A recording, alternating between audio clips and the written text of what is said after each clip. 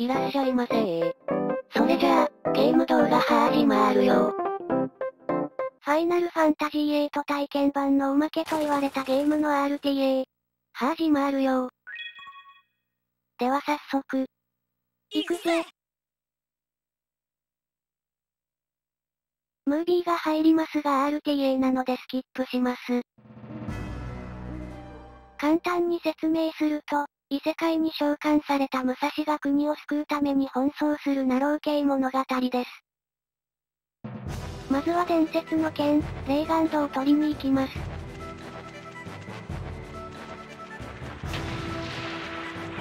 この攻撃で敵の動きを止め、処理落ちを回避します。そしてすぐさまゲットイン、ボタンを連打しながらお金を回収します。このゲーム、上り坂はジャンプした方が早いです。本来ここでゲットインの説明が入りますが、先に丸太を打つことでカットできます。見かけ倒し三重視をスルー、石像をガンもどきを使って壊します。ここで1分以内だとまあまあです。次は螺旋の塔を登ります。4つの石像を壊すことで現れますが、最初に右の石像を壊し、そこから左回りに壊していきます。石像は壊れるまで少し時間がかかるので、画面外からガンもどきを使って壊します。足元のタイルを目印に壊しています。4回攻撃で壊れるので BP が4減ったら撃つのをやめます。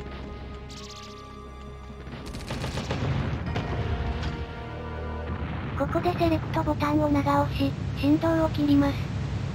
切らなくても問題はないですが、振動するの手が疲れる。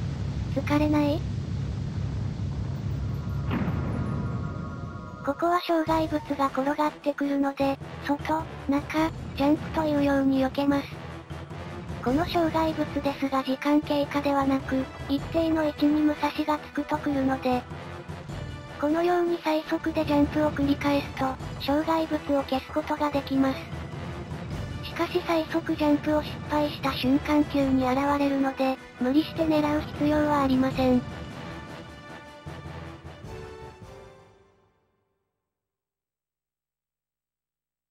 まだまだ螺旋の塔は続きます。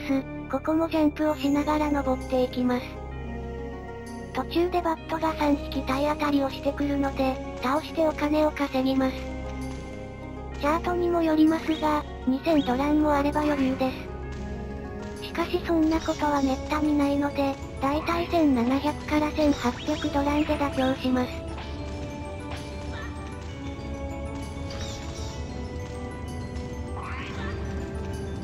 貴重なバットチャンスをなんで2回も逃してるんですかねまあこの後まだチャンスがあるから、多少はね。ここはジャンプで通り過ぎるとロスなので、ポイントに近づいたら歩きます。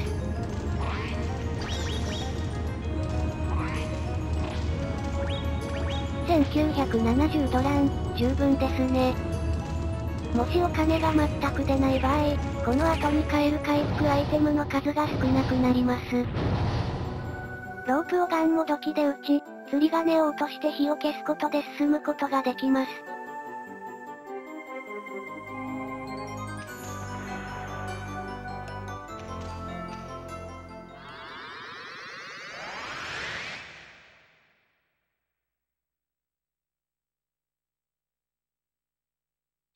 頂上に着きました。レーガンドをいただき帰りましょう。足元のパネルに敵を乗せることで、バリアが解除されます。敵を誘導、攻撃を振らせることでパネルの上で止まらせることができます。ここの剣入手時点で4分とかだと早いです。今回はめちゃくちゃ遅いです。さて、無事レイガンドを入手したので帰りますかね。ここの目が残る表現とか、とても好きです。というわけで強制スクロール、石像から逃げます。僕はいつもここでとあるゲームを思い出します。スライディングスライディングジャンプ、じゃジャンプ。今まで進んできたステージを戻ります。基本的に画面端にいれば障害物は回避できます。また、障害物に引っかかったりジャンプをすると減速しますが、石像に引かれない限りタイムに影響はしません。敵には当たり判定がないので、このようにすり抜けられます。塔を駆け下りている時もですが、やべえ、ジャンプの句を聞いてから飛べば大丈夫です。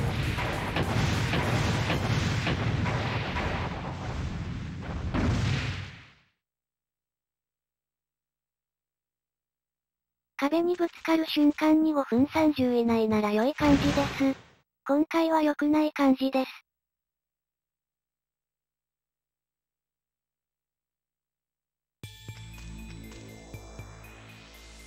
ここ初対面で貴様って呼ばれるボルドーくんかわいそう。今後一切出番のない回転切りでの炎消化、もう少し出番あってもよかったと思うんですが、さすがレイガンドだわと言っていますが、この体験を軽々振り回す武蔵くんもすごいよな序盤の難関、スチームナイトです。回転切りを駆使して倒します。この回転切り中は無敵なのが非常に強いです。まず足の間に入り回転切り、ちゃんと当たれば1回で両足とも壊れます。第2形態は少し難しいです。上半身の回転を目印に回転切りを1回、すぐさま2回目。もし高乱数を引けていればここで足が壊れます。今回は失敗していますが、うまくいけばロスなく足を追撃により壊すことができます。第3段階は比較的簡単です。最初のジャンプでは61までしかダメージが入りませんが、削り切ると次の角までジャンプをしなくなります。余談ですが、スチームナイトは頭を壊すことができます。放送中に実践しましたが知っている人はほぼいませんでした。まあ頭壊したからといって、何かあるわけじゃないんですけどね。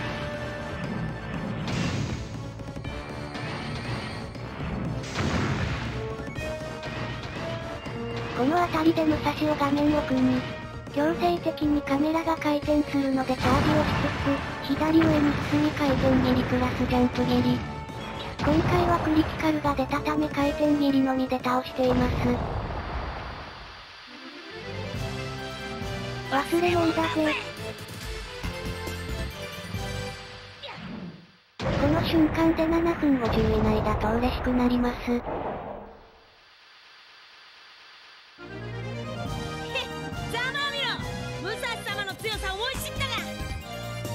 してもボルドーとかいうやつめ姫をどこに？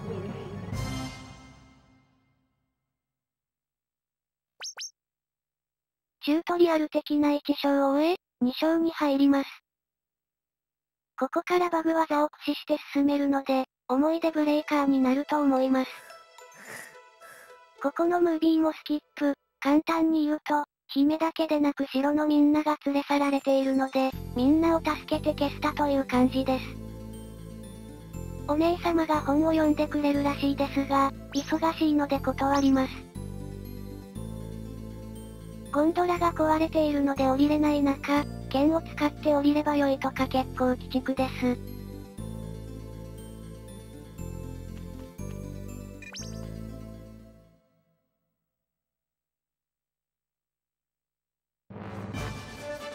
ええ大光丸とレイガンドの攻撃に耐えるワイヤー君、君もしかして伝説のブブ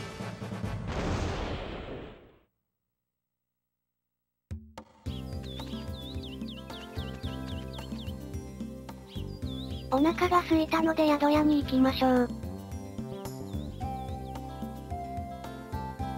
ここはヤクイニック村、とても美味しそうな名前の村ですね。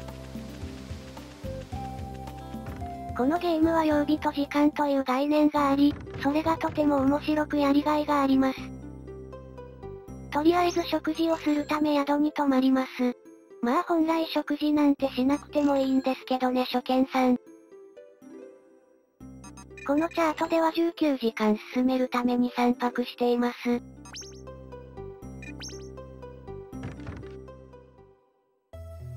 時間を進めたら森へ向かい、悪いことの準備をします。何をするかというと、知っている人も多いかと思いますが、ホッピングを使った技を使用します。右枠で簡単に載せていますが、ニコ動にもっと詳しい解説動画があります。気になる兄貴は調べてみてください。まずホッピングをゲットイン、できる限り森の入り口に近づいてから入手するようにします。このようにジャンプをすることで飛距離を伸ばせます。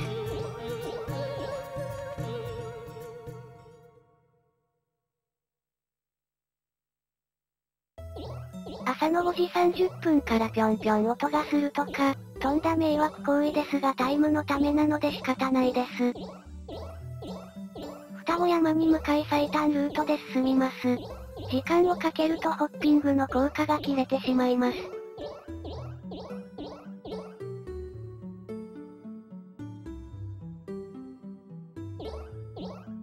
マッチョの見張りは朝9時から夕方6時、休憩なしの9時間労働です。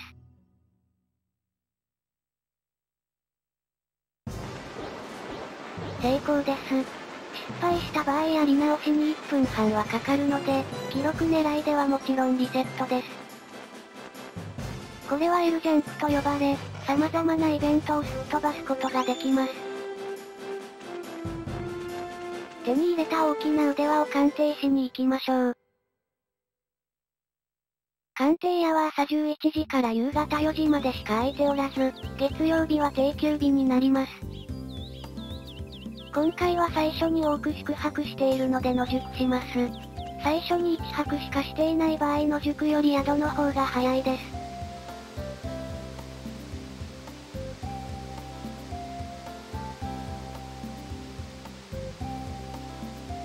ちらちらと子供が映っていますね。とても平和な街で微笑ましいです。先ほどの大きな腕輪を鑑定。なんと伝説の武具の一つ、弁慶ブレスでした。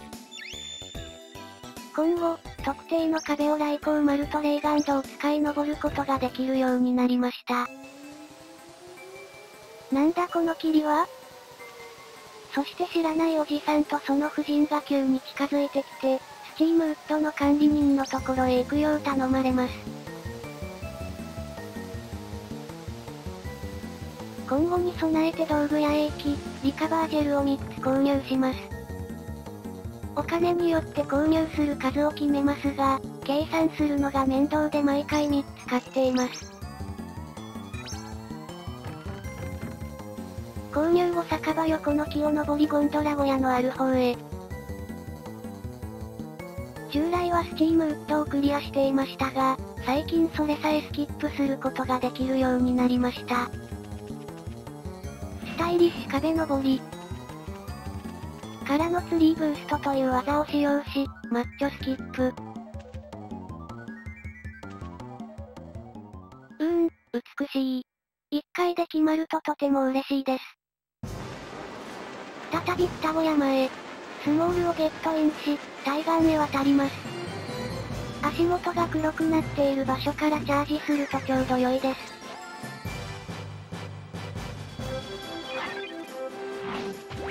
今左上に出てきているのはレベルアップです。力、心、来光丸、レイガンドの4つがあります。このゲームの経験値はレベルアップ時切り捨てのため、ボスを倒しても一気にレベルが上がることはありません。そのため無駄がないようこの辺の雑魚相手に攻撃し、レベルを上げ、さらにボスでもレベルが上がるようにしています。この先にビンチョフィールドがありますが帰り際に救出するため、先に山の方へ行きます。基本的にレイガンドを多用するため、攻撃はレイガンドで行いレベルを上げます。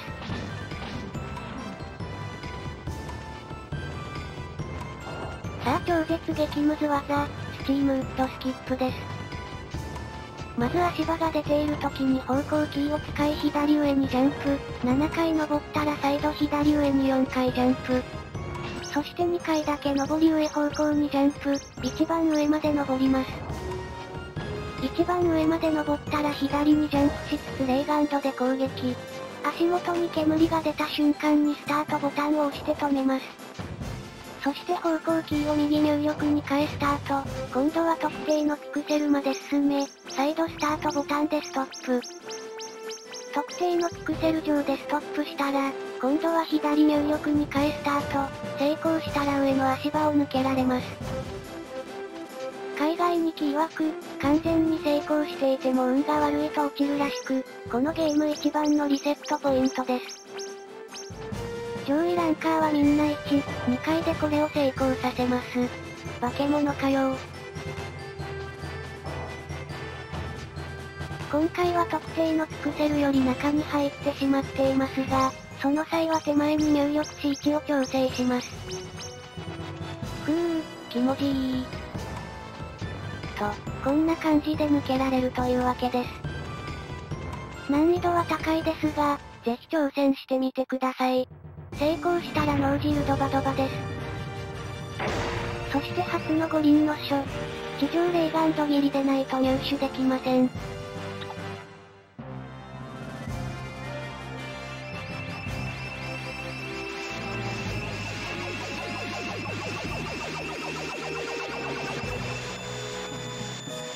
の時点で15分台だとめちゃくちゃ早いです。と言っても16分半も結構早いんですけどね。最初で最後のレイガンド君のおしゃべりシーン、もう少しあってもよかったけどボツになったのかな。クレストガーディアンを倒すのだというセリフを残し、黙ります。初お披露目の血の巻ですが、揺れを起こし、岩を落としたり、敵の動きを封じたりします。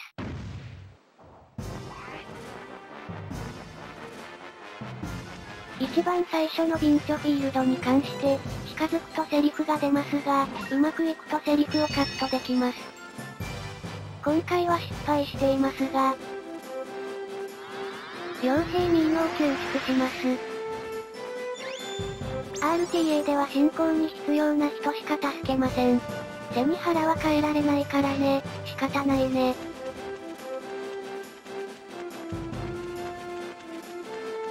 ジシャンは武蔵の目の前にワークしてきますが、進行方向をずらさなければすり抜けられます。すり抜けと同時にジャンプレイガンド切りをすることで、ロスなく経験値を稼ぐことができます。奥に見える意味深な丸太、取り残された骨、この山には謎が多いですね。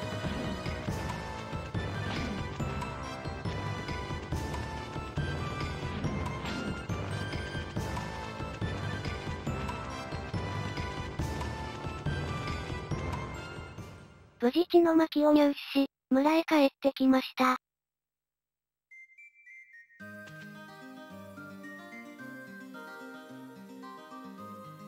森に行く際ちらっと見えていた人が近寄ってきました。初対面なのにとても友好的です。それに野良犬でしょうか、懐かれていますね。さらし台に囚われていたのはマジックの練習か何かでしょうか。とても愉快な人ですね。さて、それではクレストガーディアンを倒しに行きましょう。今回はここまで、ご視聴ありがとうございました。実力差が出る第3章、ハージマールよ前回、様々な技を駆使して無事血の巻を入手しました。クレストガーディアンを倒すべく城へ向かいます。しかしここにちょうど良い木が生えていたので、飛びつきたくなってしまいました。前回軽く説明した、ツリーブーストを使いさらに思い出を壊します。これは、ツリーブーストチャーチエントリー、通称トリブチェットという技です。名前のごとく、木からの大ジャンプを使い境界へ侵入します。なら最初からやればよかったのでは？と思う方もいるかもしれませんが、それは無理です。この技には必要なものがあるからです。それは五輪の書です。五輪の書を切り替えると、すべての行動がキャンセルされます。この特性を利用し、屋根に影が映った瞬間に巻物を変え、着地して屋根から滑り落ちるという行動をキャンセルします。一応初心者向けの方法もあるので、右枠で紹介します。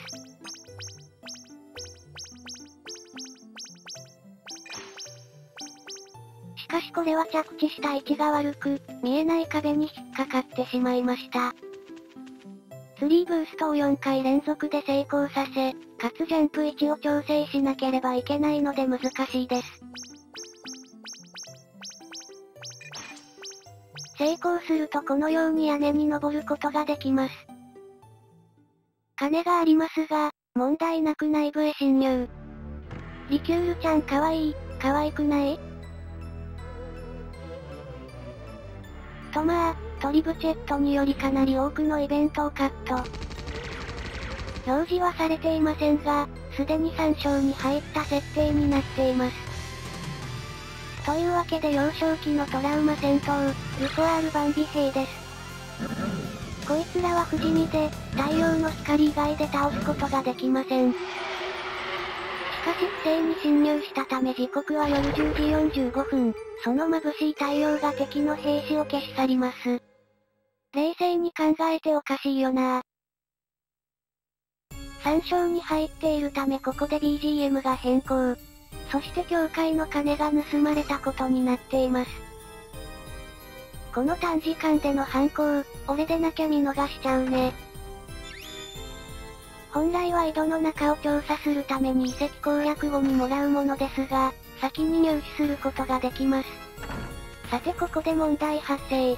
本来は2段ジャンプを習得した後に来る場所のため、門が閉じられた境界から出ることができません。というわけで技を駆使して境界から脱出します。巻物キャンセルと、ストアジャンプという技です。まず兵の一番右下に武蔵を移動させ、その状態から上に3ピクセルだけ動きます。そこから右の兵に向かってダッシュジャンプ、兵に乗り移った1ピクセル目で巻物を変え着地キャンセル。うまくいくとこのようにピタッと武蔵が兵の上に乗ります。その状態でストアジャンプをします。そしてそのまま左方向に2フレームだけダッシュ、飛びます。一瞬だけ屋根に影が映るので巻物を変え着地キャンセル。今回一番のグダグダポイントはここで、成功までまだかかるので右枠の解説を見て暇つぶししてください。上に3ピクセルや、左に2フレーム等、難しそうに聞こえますが目印等を決めているので簡単です。まあ今回はめちゃくちゃミスってるんですけどね。L ジャンプ、スチームウッドスキップ、トリブチェット、境界脱出、これらの技が武蔵伝 RTA においての難所です。これらが序盤に詰め込まれているので大変ですが、逆に言えばここを抜ければ難しい技はあと一つしかないです。今回はここまでで3分半以上ロスをしているので、まだまだ伸びしろがあります。というわけでやっと成功しました。すでに遺跡には入っている設定なので、0時から3時の間に酒場へ行けば地下に入ることができます。初めてこいつらを見た時は怖くて怖くて、ゲームを一時的にやめた記憶があります。では地下を攻略していきます。ここに関してはスキップする技は見つかっていないため、4つすべてクリアしなければいけません。もちろんショートカット等はありますが、一番実力が反映される場所だと思っています。本来は酒場のマスターダクレイがいて、バーのおつまみという最強回復アイテムが食べられます。しかし正規の方法できていないのでいません。最初に買った回復アイテムで乗り切ります。攻略する順番はどこからでも大丈夫ですが、大体はここから攻略します。理由として、確定ダメージ箇所があるので、先に攻略することでリジェネによる回復が活かせるからです。途中の敵からボーリングをゲットインしておきます。この後数回にわたって出番があります。ここ安定をとっていますが、ボールの左側を抜けることができます。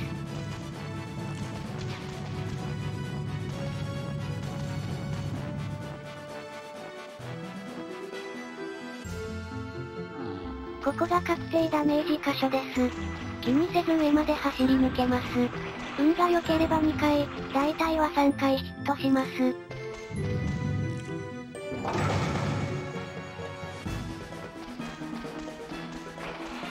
さあみんな大好き、バンビボーリングの時間です。ストライクは運も絡み非常に難しいです。ここは最低でも3球で終わらせたいです。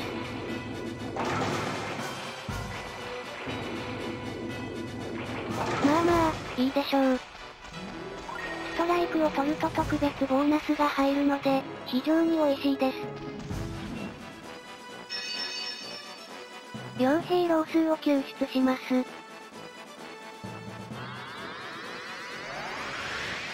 これで救出したのは2人目ですね。今までと違い救出する人数も減り、スカルピオンを倒さないので、PP の管理が大変です。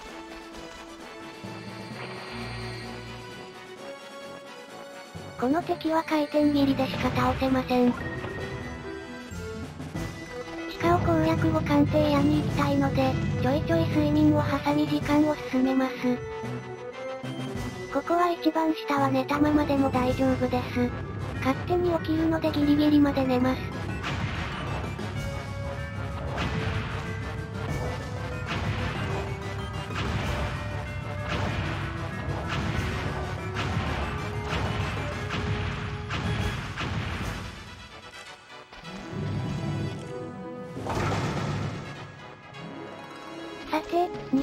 ボーリングです。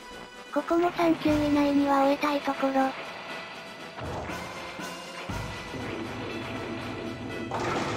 ほんまこいつら。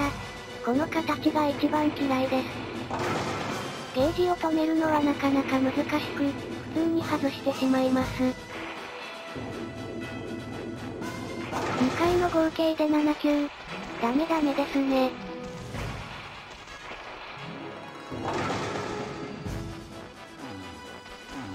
傭兵カルビを救出します。これで必要な人物は全て救出したので、今後は全て無視して進めていきます。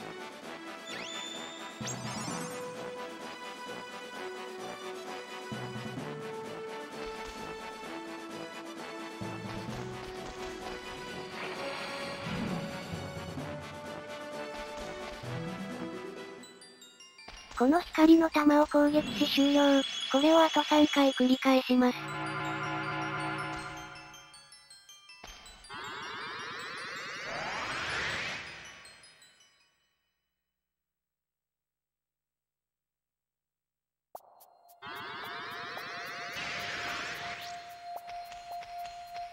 次は右の部屋の右の扉、暗闇迷路をクリアしていきます。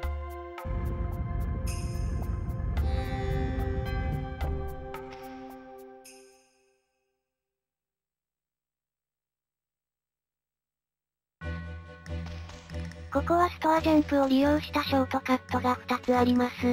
1つは簡単ですが、もう1つはちょっと難しいです。ここで位置を調整しストアジャンプ、ショートカットし一気に次へ行けます。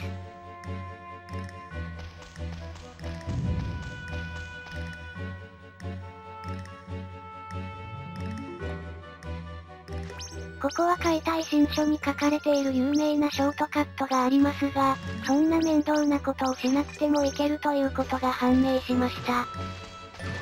先ほど同様ストアジャンプし斜めにジャンプ、位置と方向が正しければこのように飛び移ることができます。見た目以上に難易度が高く、同じことをやっているつもりでも落ちてしまったりということが多々あります。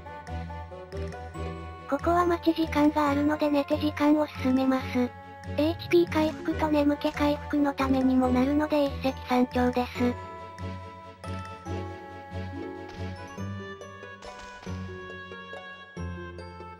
ここは本来エクトプラズムをゲットインし、足場を確認した後進むというステージです。まあ RTA なのでそんなの不要です。できる限り斜めジャンプをして最短で進んでいきます。しばらく暇なのでここで雑談。武蔵伝 RTA パート1のご視聴、コメント、マイリストを本当にありがとうございます。一応コメントは全部見させてもらっていますが、自分の動画が皆さんのコメントで何倍にも面白くなっていて嬉しい限りです。やっぱ皆さん武蔵伝好きなんすね一応この動画はパート6で完結予定なので、最後まで応援していただけると嬉しいです。遠慮せずに武蔵伝の思い出とか好きなキャラとか技とか、語り合ってくれて良いんですからね。いらっしゃい。今日は何ちなみに僕は巻き割りダイナマイトが好きです。技の見た目も、名前の漢字も好みで幼い頃はよく使っていました。まあ RTA では技は何一つ習得しないんですけどね。なんて話をしているうちに二つ目の扉をクリア。残り8つ、パパパッと攻略していきましょう。今更なのですが、この RTA をする際は方向キーとアナログスティックがあるコントローラーを使ってください。詳しくは右枠参照。三つ目はワープ迷路を攻略します。ここは画面が真っ暗なところがあるので心の目で見ていきます。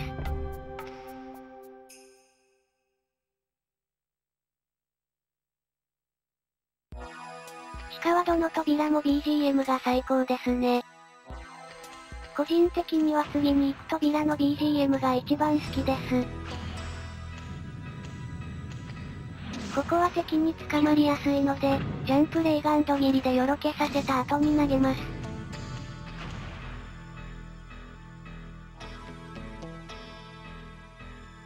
ここから画面が暗いステージが多くなります。敵の場所や武蔵の足音を目印にして進んでいます。足音が8回聞こえたら上にジャンプ、さらに4回聞こえたら左上にジャンプ、さらに4回聞こえたらジャンプという感じです。このワープは、すべて武蔵から見て右側のものが正解です。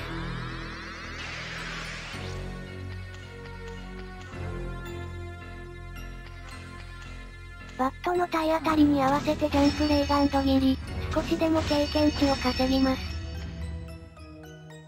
ここのバットは倒すとその場に炎を落とすので、欲しいアイテムが出た時はゲットインを使って取ると良いです。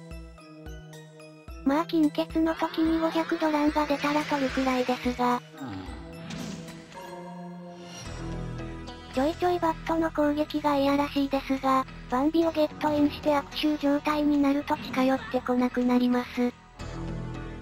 通常プレイ時はワクワクしてバンビをゲットインして、悪臭になってがっかりした記憶があります。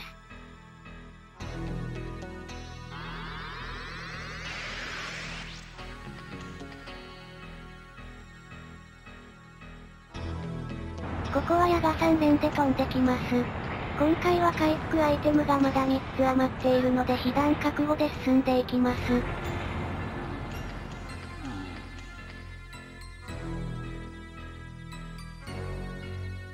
ここはスタートからまっすぐ上に移動しながらジャンプをすればスムーズに突破できます。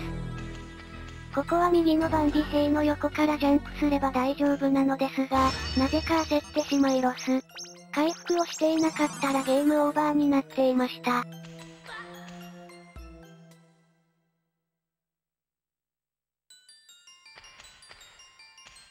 これで3つ目、最後の扉に向かいます。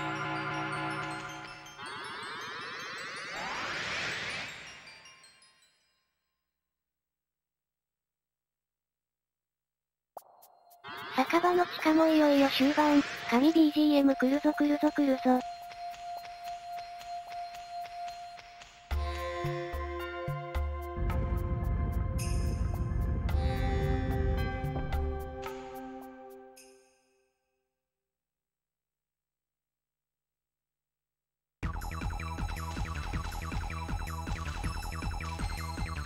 というわけで、最後の扉キューブ迷路にやってきました。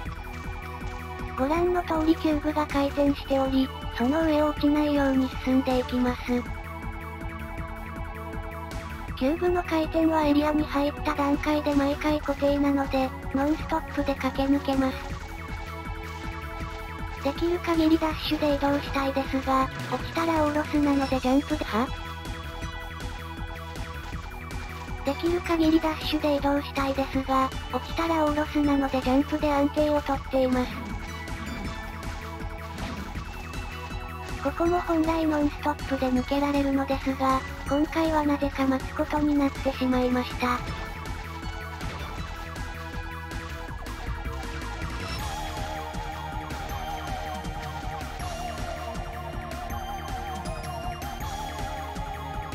ここは安定のアウトコースと、ガン攻めのインコースがあります。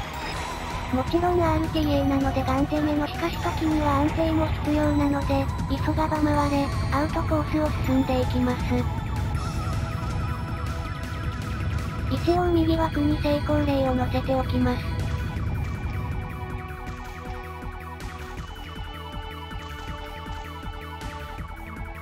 ここはフライングバンビとバットが飛んでいて、とても厄介ですがタイミングを調整し一気に抜けます。R1 のチャージは滑り止めになるので、うまく活用していきます。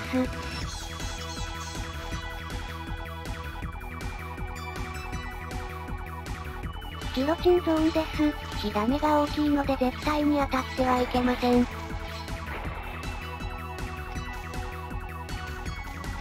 ここ、キューブの下から真下に飛ぶとショートカットできます。ここは先端から右にジャンプ、先ほどのカットもそうですが、カメラが勝手に動くので落ちないように注意します。ギロチンマグマゾーンです。ジャンプ中にギロチンに当たると大体マグマにも落ちます。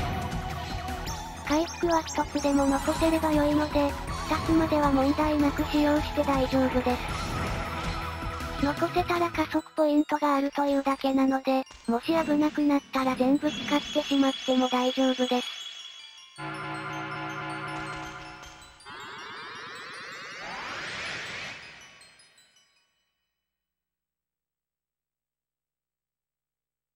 さあすべての扉をクリアしました。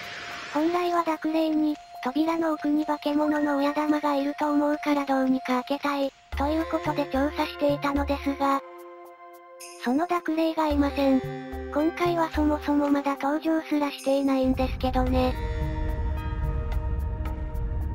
誰かこの扉をスキップする技見つけてください。何でもしますから。なんだこのおっさん。というわけでこの男が濁霊です。化け物の親玉がいるというのは嘘で、このお宝を手に入れるために武蔵に地下の調査をさせていました。しかし見つかったのは汚いベルト。武蔵にはあんたのその薄汚い欲望のために雑貨屋のテム君が、と言われています。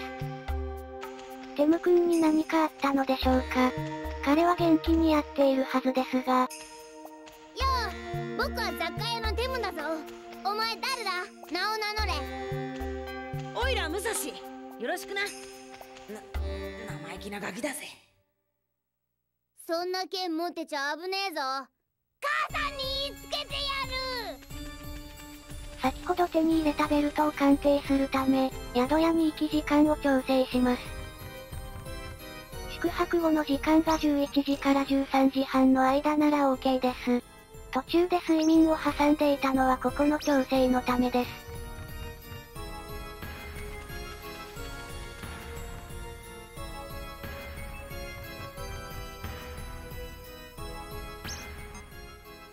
汚いベルトの正体は、伝説の武具の一つ、芸者ベルトでした。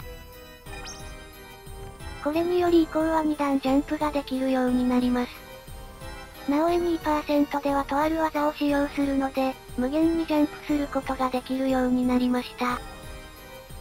薄汚いおっさんが何やら慌てて近づいてきていますが、なんと井戸の水がなくなってしまったようです。ここでやっと鍵詰めロープの出番です。本来は地下を攻略後、境界、井戸という流れで進みます。ここでインフィニットジャンプという技を使い、ヨレヨレシャツを入手します。まずロープを登ります。そして2段ジャンプをした瞬間に巻物を変更します。すると2段目のジャンプがキャンセルされるので、再度2段ジャンプをすることができます。詳しいやり方は右枠参照。とても簡単なのでぜひやってみてください。厳密には無限ジャンプには2種類あるのですが、それはまた今度解説します。というわけで2つ目の五輪の書、水の巻です。ここの入手時点で39分を切っていると、めちゃくちゃテンションが上がります。今回は1分半もオーバーしているので、テンションが下がっています。まあこの後全部ノーミスなら、と思い当時はプレイを続行しました。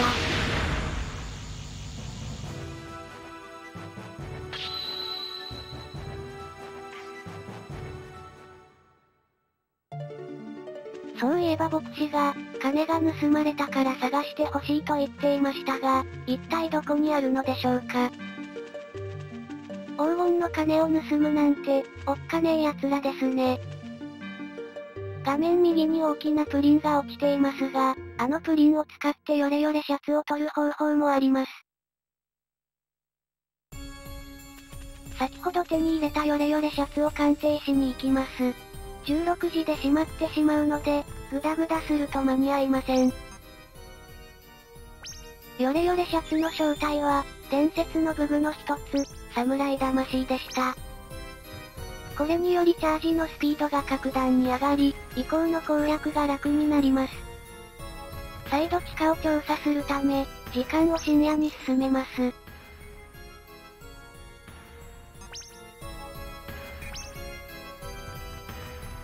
今回はここまで。ご視聴ありがとうございました。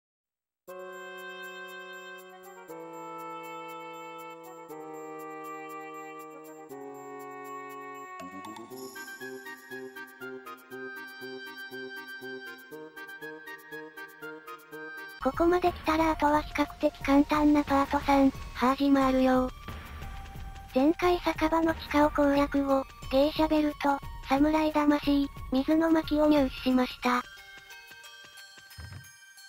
今回はそれらを使って再度地下を攻略していきます。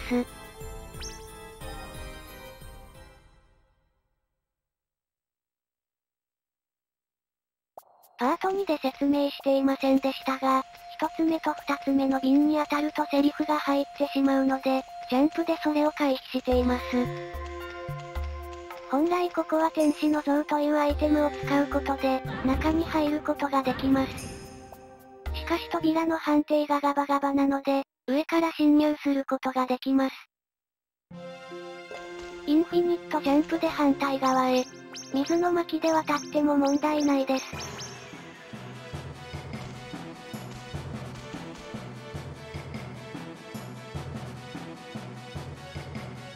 ここは斜めにジャンプをすることでいくつかの足場をスキップすることができるので、斜めに飛んでいきます。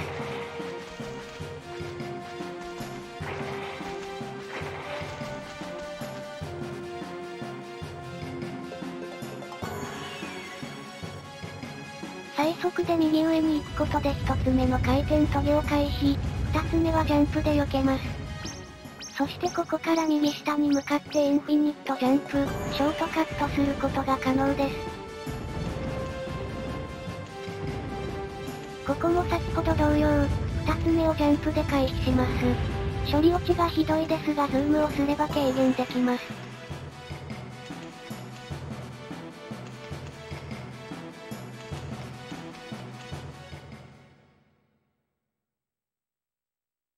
ここは本来4つの炎を水の巻を使って消火することで、扉を開けることができます。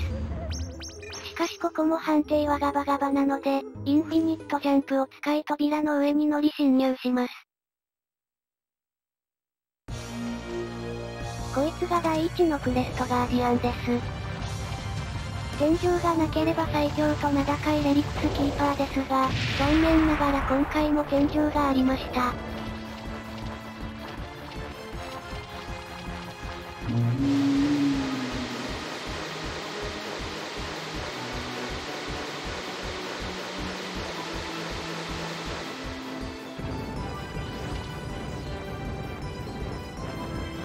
本体は攻撃しませんが、この火球が攻撃してきます。火球に水の巻でダメージを与えることでコアを露出させます。うまくいけばこの段階でコアを露出させることができますが、大体は次のステップでコアを露出させます。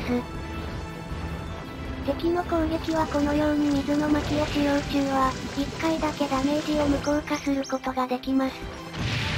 これが1回目、これをあと2回繰り返します。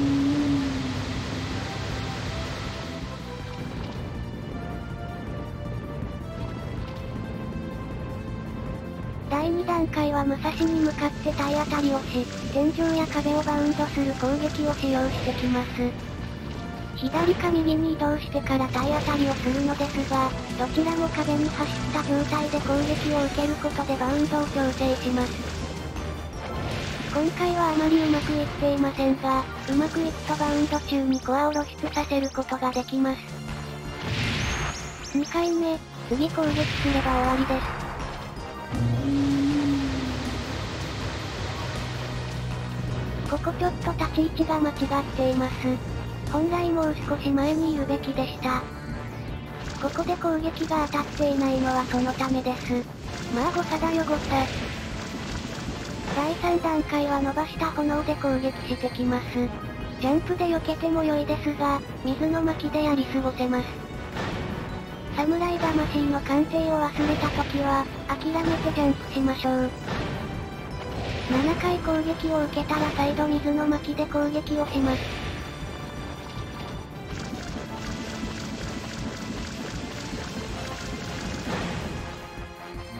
火柱攻撃に関して、理由は分かっていませんが、たまに即終了パターンを引くことがあります。この間は攻撃を当てるのが難しいので、即終了を引けると嬉しいです。ちゃんと攻撃を当てられていれば、この炎の雨の攻撃中にコアを露出させることができます。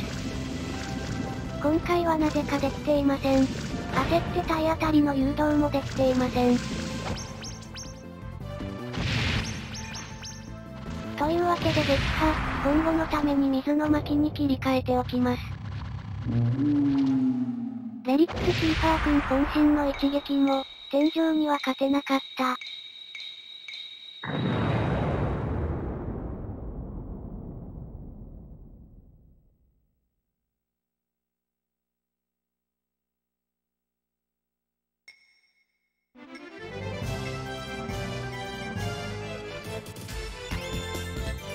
ガーディアンのコアを取得すると、HP、DP、眠気がすべて全開します。貴重なムービーシーン、要約すると佐々木小次郎が召喚されます。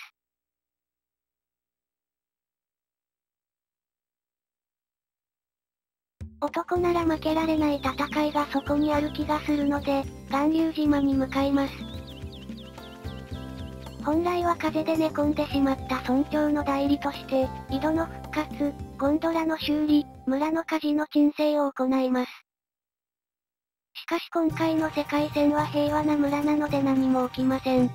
スチームウッド、テム君バンビカ、火事、何もないです。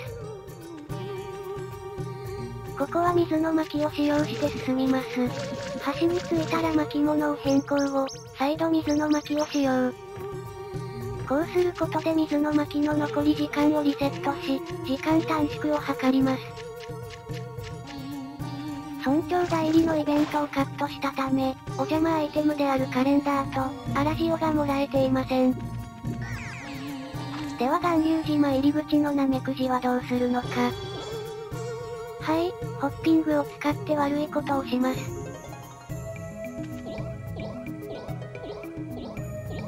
失敗。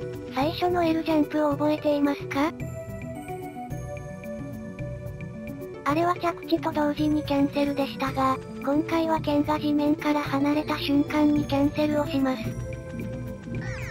そうすることで、普段のジャンプよりも高く跳ねることができます。その状態で2段ジャンプをすることで、ナメクジを飛び越えられます。こんな感じです。もっとうまくキャンセルすれば引っかかることなく越えられます。ここは昼間に来ないと道潮で水が増えているため積みます。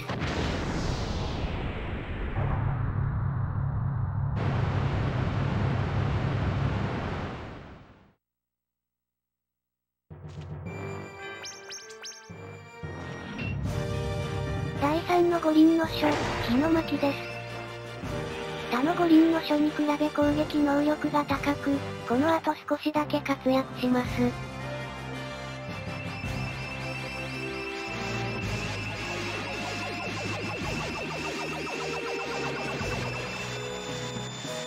ここの期間で45分台だと世界ペースです。今回は僕が日本記録保持者なのでこれが日本記録ペースです。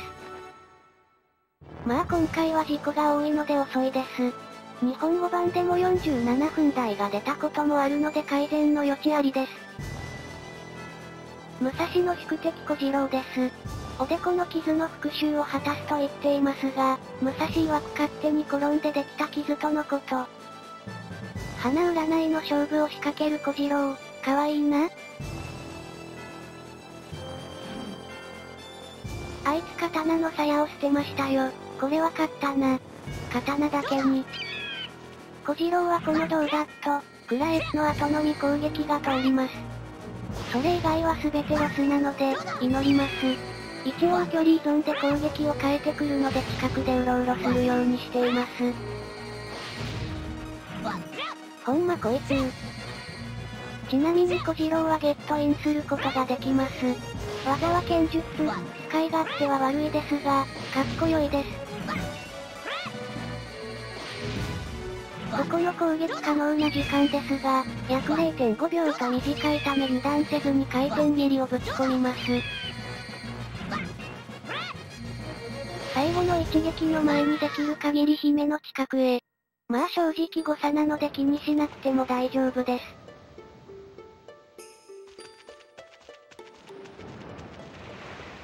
さあ、不正に侵入したため入り口のナメクジは消えていません。ではどうするか。姫に下から突き上げてもらいます。この角で2段ジャンプをしていると、姫に押し出されてすり抜けることができます。うまくいかない場合は少し右に行ってから、サイド角に向かって飛ぶとうまくいくことがあります。ここは完全に姫のご機嫌次第なので、早く抜けられるよう祈ります。今回はご機嫌斜めですね。成功するとこのようにすり抜けることができます。脱出後は勝手に城へ戻るので、会話後傭兵3人と面会します。ここ当時は本当に姫だと思っていました。トラウマを復活させた偽姫、絶対に許さない。げハンドルがねえぞこれじゃバルブを閉めれねえぜ五輪の書の手がかりがないため、盗賊退治をすることになりました。盗賊の味とのヒントを傭兵が持っているということですが、今回はあらかじめ3人救出しているので問題ありません。アジトへのヒントですが、将棋を知らないとわかりません。当時僕はこのヒントを必死に考えましたが、結局わかりませんでした。僕が導いた答えは、しらみつぶしで正解ルートを探し出すことでした。むしろこれ正規の解き方でいけた人すごいと思います。まあ図書館にプレイザ将棋とかがあるので、今思えばそういうヒントがあったんだなと思います。一応右枠にてヒントの解説。覚えるのは簡単なので暗記一択です。しばらく暇なので雑談。動画の冒頭でも説明しましたが、これは別撮りの動画をくっつけて編集投稿したものです。ですのでタイマーは参考程度に、2時間6分5秒よりも時間がかかっています。一応元動画は両つべのアーカイブに残っています。しかし声や放送当時の棒読み等が入ってしまっています。ですので再度必要な部分のみを撮影し、投稿を続けることにしました。記録の動画を楽しみにしてくれていた方、本当に申し訳ございません。ですがここで投稿をやめるのも嫌だったので、RTA 解説動画ということでやっていきたいと思います。長々と喋ってしまいましたが、本編へ戻ります。盗賊のアジトはさまよいの森の奥にあるということなので、まずは森へ向かいます。先ほどと同様水の巻と巻物変更を駆使して進みます。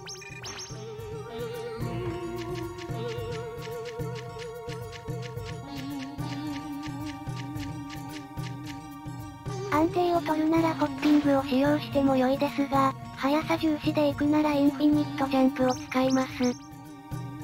トゲが届かない場所からジャンプし、できるだけ早く2段ジャンプのキャンセルをするとこのように渡れます。正直行きはホッピングを使ってもそんなにロスはないです。帰りはとある技を持ち帰りたいのでできればこの技を使いたいところ。さまよいの森にやってきました。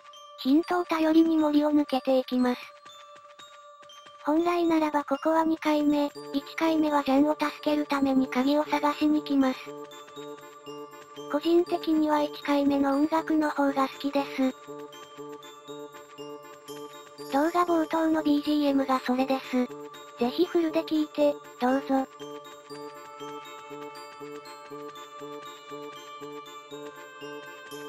雪降ってるじゃない、なんか寒いと思ったわ。この岩は左側を抜けることができます。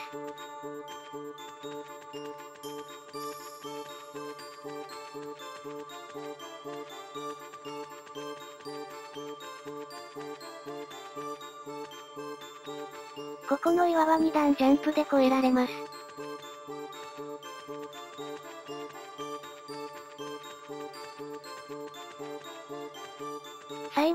すらまっすぐ、長かった森も終わりです。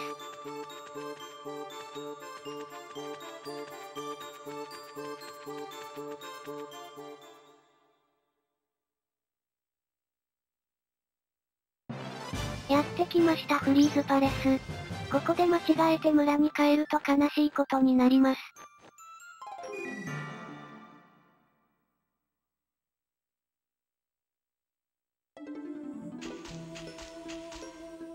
姉さんオスオス。軽音の麦ちゃんもそうですが、眉毛太いキャラは好きです。私の名はブランディ。どう？香り豊かでコクのある名前でしょ？早速中を捜索していきます。以前インフィニットジャンプには2種類あると言いましたが、ここで両方登場します。スリーブーストと同じようにポールへ飛びつくと、そのまま頂点で勝手に飛び出します。この状態でインフィニットジャンプをすると、高度がどんどん上がります。これがもう1種類です。以前登場したのは高度は変わりませんでした。入り口付近にいるマネラーをゲットインします。こいつからゲットインできるダミーだこれは1回限りですが、作中最強の攻撃力を保持しています。ここら辺から2段ジャンプをすることで、マネラーを回避できます。ここの部屋はダミーダコヤを使用して敵を倒すことで、宝箱を入手することができます。外交丸を使ってドロップアイテムを回収。BP 回復系だと嬉しいです。グリーンアイを入手、残りのレッドアイとブルーアイも回収します。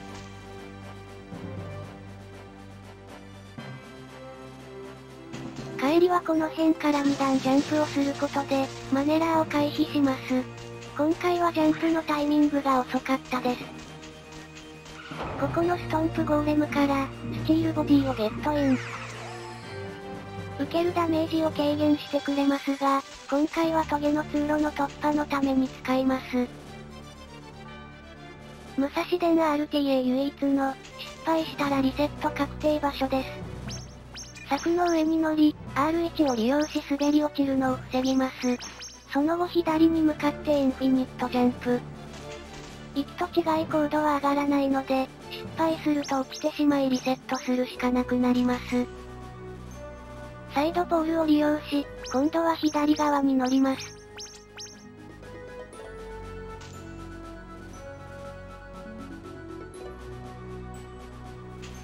スチールボディを発動。ここのトゲの通路を突破していきます。処理落ちをズームで軽減。別に必須ではないですが、処理落ちすると結構遅くなります。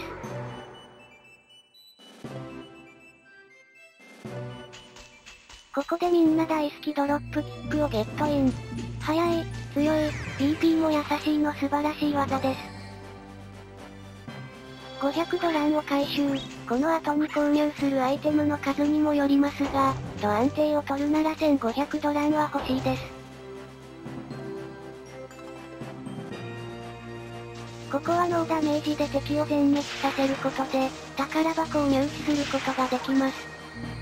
このように2点一流山を使い、最速は2回、少しミスっても3回で突破します。4回は遅い。ブルーアイを入手。最後のレッドアイを取りに行きます。ちなみに2点一流山で倒した敵は、BP10 回復のアイテムしか落とさなくなります。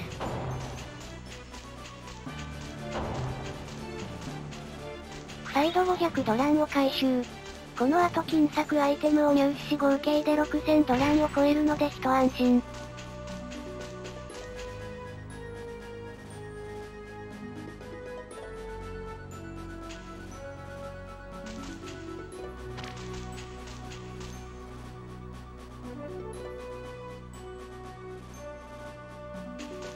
ここの宝箱からとんがり棒を入手します。一体何の棒なんでしょうか？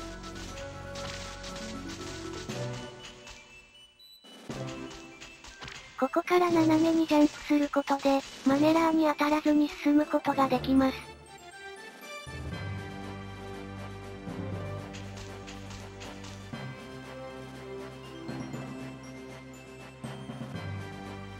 ペンギンちゃんかわいい。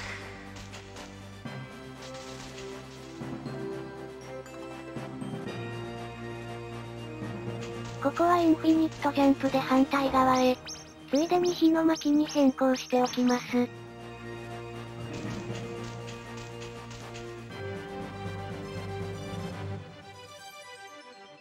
ここはペンギンを全滅させることで宝箱を入手できます。ペンギンの動きはランダムなので、祈ります。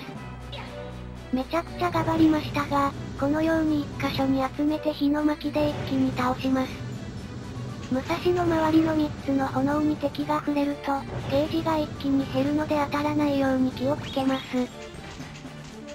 PP がかなり減っているはずなので、ここで回復できると嬉しいです。もし回復できなくても、ピンチョフィールドがあるのでロスにはなりますが救出することで回復することができます。今回は運よく回復することができました。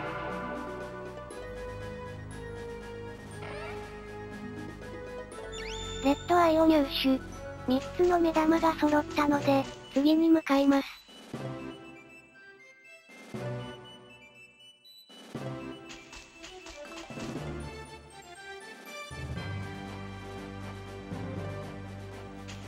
もし回復できていない場合、ここのビンチョフィールドを救出します。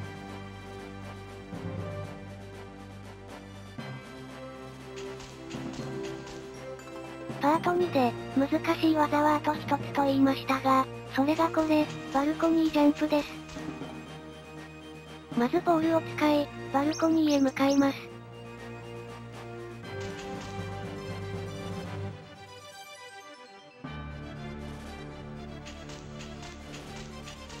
ここの柵の上に乗り、R1 で滑り落ちるのを防ぎます。今回は行き過ぎたため落ちてしまいました。するとバルコニーへの登り直し、セットアップのし直し等で1分近くロスすることになります。ここまで記録ペースできたのに、バルコニージャンプができずに終了、ということも多々あります。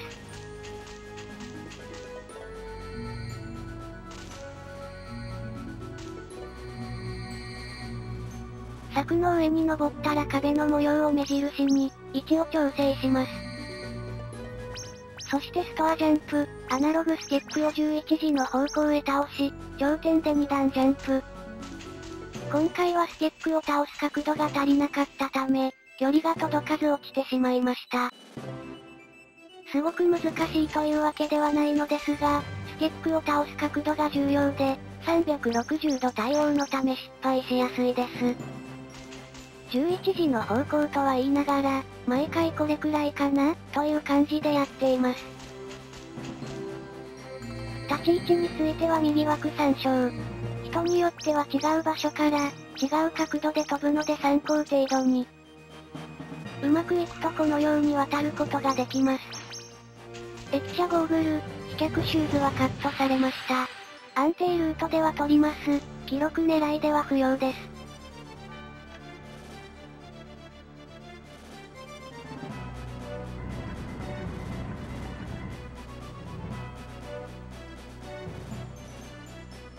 今回はここまで、ご視聴ありがとうございました。ここから折り返し地点なパート4、始まるよ。前回、3つの目玉を回収し閉ざされたドアを開放しました。さらに内部を捜索していきます。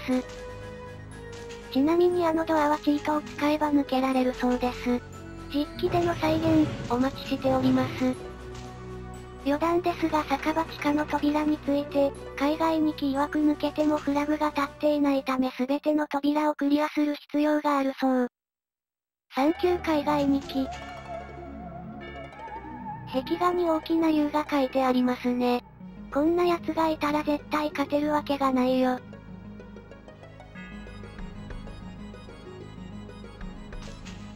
目の前には U の彫刻と怪しげなスイッチ、押すしかねえな。ボスシュートです。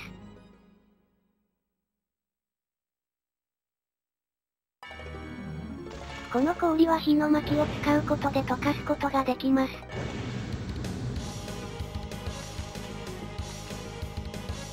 怪しげな妖怪、まあフリーズパレスっていうくらいだし不思議ではないですね。あなんと妖怪の中には空飛ぶ冷凍エビフライが保存されていました。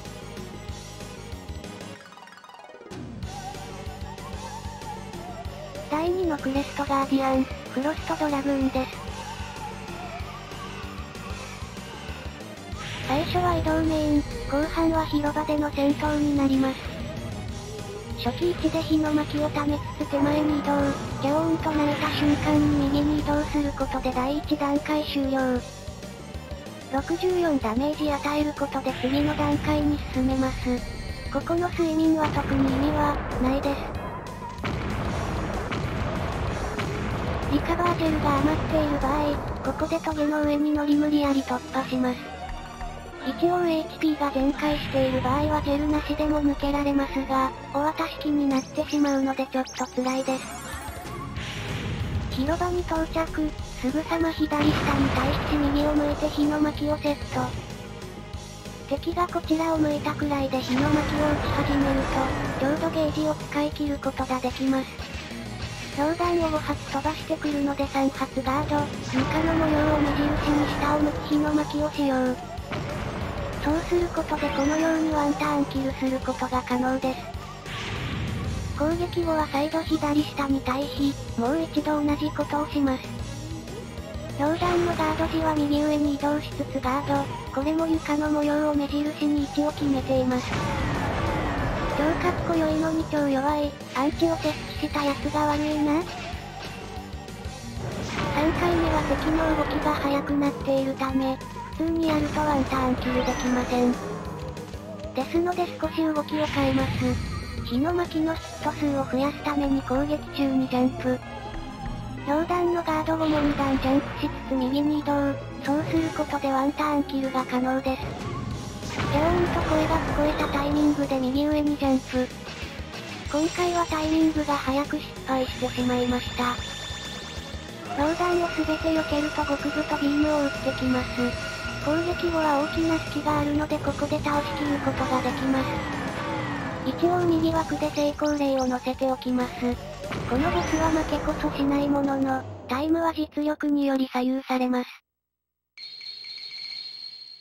レリックスキーパーが水の巻、フロストドラグーンが火の巻って逆で割って毎回思います。というわけで撃破。眠気含めて全開するこの子は欲しい、欲しくない？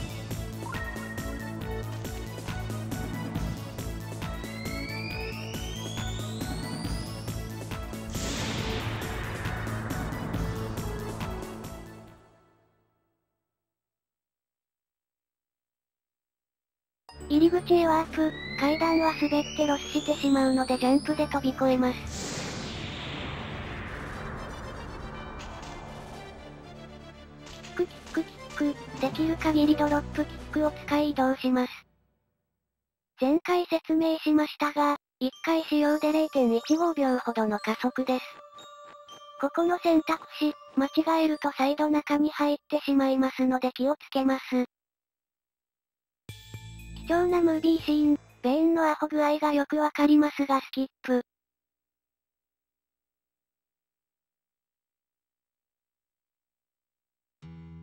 村に帰ってきた武蔵ですが、何やら問題が発生したようです。詳しくは店のみんなに聞くよう促されます。とりあえず金策アイテムを鑑定売却するため鑑定屋へ。ここは13時固定なので月曜でなければ大丈夫です。仮に月曜でも3回宿屋で泊まれば大丈夫ですが、630ドランを消費するのでちょっと痛いです。素敵なステッキが4500ドランで売れました。スエーツエを売ることで素敵な冒険にすることができそうです。最後の買い物、この買い物でラストまでの回復アイテムを買い込みます。何をいくつ買うかは人によりますが、2730ドラン残すことと、納豆ペーストが3つ以上あれば良いです。買い物後は風の巻を入手するため、魔法から貯水池へ向かいます。井戸にかけてあった鍵爪ロープは、誰かに回収されてしまっているため使えません。この辺は BP を30程度残し、キック連打で移動します。インフィニットジャンプを使うことで水の巻を使わなくても渡れます。またこの時水の巻に変更しておくとこの後がスムーズです。水の紋章解放。属性に対応したクレストガーディアンを倒すことで、各地にある紋章をこのように解放することができます。今回は水を移動させることで村の水不足を解消します。本来は4勝直後の村長代理イベントで行うのですが、今回村長は風になっていないので今行っています。金を盗んだ犯人ということですが、武蔵曰くその金は教会に返したとのこと。記憶にありませんね。ちなみに金をこの貯水池から運んで村に持っていくと、入り口付近でホワイト牧師が待ち構えています。盗まれた金がなんでそこにあると知っているんですかね金だけに。BP が10以下になると衰弱状態になり移動速度が下がるので、そうならないように気をつけます。ここの火の巻の紋章を解放、天井に穴を開けます。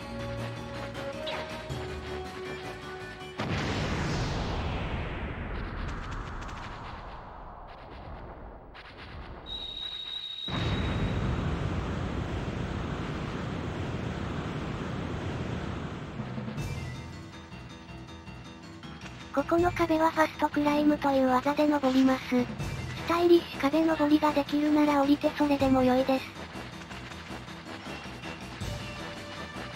今回は両方失敗してロスしていますね。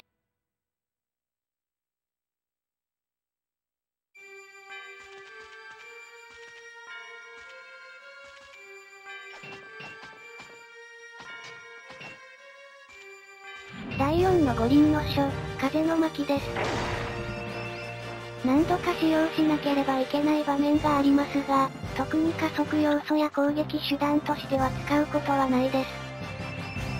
他の巻物もそうですが、あんまり出番がないのが悲しいですね。あまり詳しくないのですが、5章中に井戸の水を戻すことでプラグが4章のものになるそうです。これにより本来蒸気によって通れない場所が通れる、2回目のスチームウッドスキップというわけです。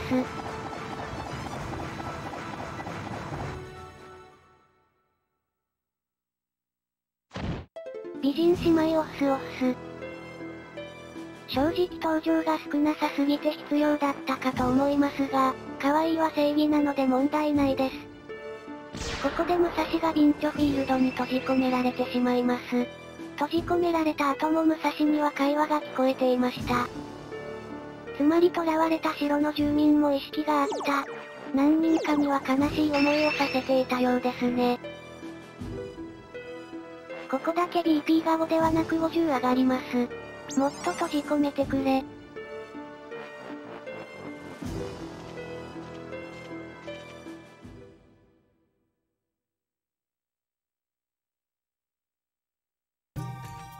前パートでちょろっと触れましたが、ドロップキックを持ち帰るため無限ジャンプを使いトゲを飛び越えます。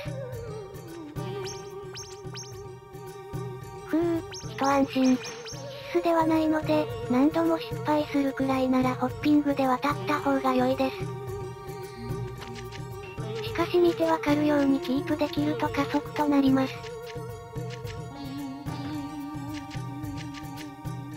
ここ何度か頑張りましたが、水の巻1回では村に帰ることができませんでした。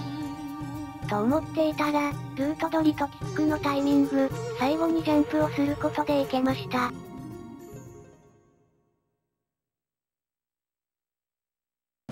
村に帰ると BGM が変わっています。明らかに何かトラブルが起きていますね。ゴンドラ小屋に向かいます。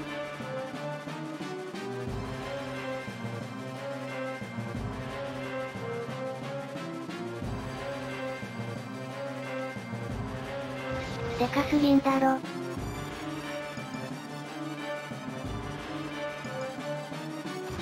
小さい頃は大きなアリ、かつ倒せないということで、ちょっと怖かったです。時間調整納豆ペーストのために宿屋へ行きます。1泊210ドランで8時間、つまり1日進めるためには630ドラン必要です。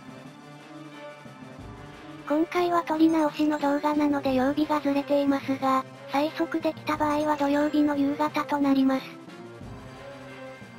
宿泊前の金額を2730ドラン残したのはこのためです。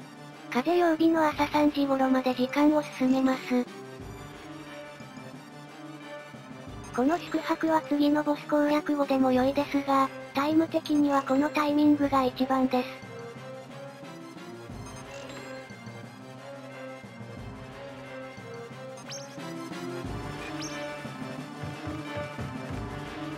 というわけで風曜日の朝まで時間を進めました。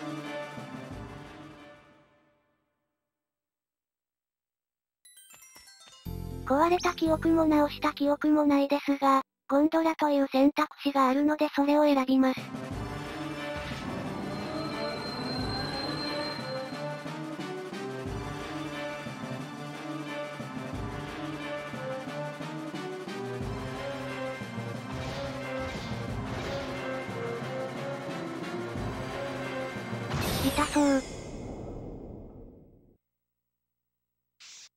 これでも倒せないアリくん、当時は恐怖でしかなかったですね。何か白くて可愛い子がいますね。あれはミンクー、持ち上げると長寿ベリーというアイテムを落とします。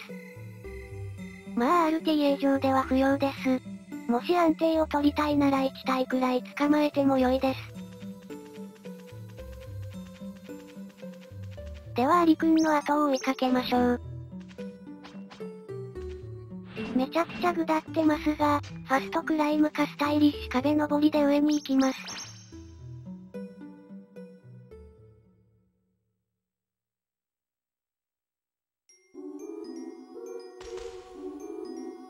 風の巻きで毒の霧を払いながら奥へ。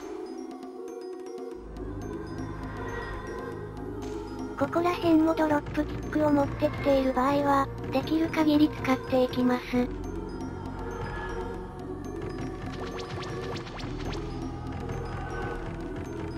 フィニットジャンプを使えば血の巻きなど不要です。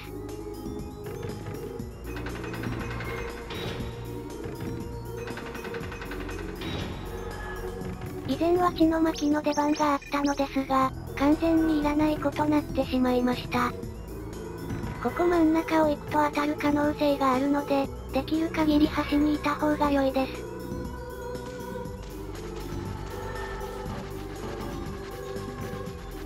ここはぐるぐる円を描くようにジャンプで登ると、ロスなくスムーズに登ることができます。好きあらばドロップキック。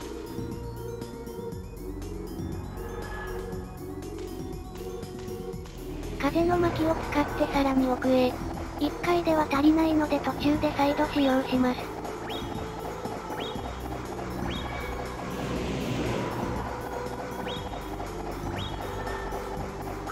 注意ポイント。ジャンプで避けないと毒の沼に落ちてしまいオーロスです。解除後すぐさまゲットイン。坂と棘を越えます。これが本来の使い方です。ここ偶然ホッピング技が成功してて焦ってますね。今度はタイミングを調整して反対岸にジャンプ後にゲットイン。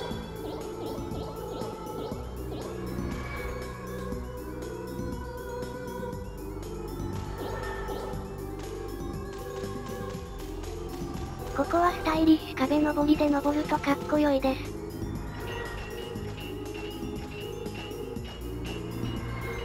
ここはアントダンジョンウィンナースキップ、という技を狙っていますが、失敗しています。もしスムーズに成功させることができれば、10秒以上の加速が期待できます。一応右枠にて成功例を載せておきます。北米版と日本語版の動画を組み合わせていますが気にしないでください。こいつからゲットインできる3ボールという技は、無敵のアリ君を倒すことができる技です。個人的に好きなゲットイン技トップ3に入ります。ちなみにトップは3ウェイです。皆さんは何が好きですかね？威力重視の手榴弾、見た目重視の剣術も人気がありそう。もし現実で何か使えると言われたら、僕はスッキリミントを使いたいですね。パート2の悪臭兄貴は笑いました。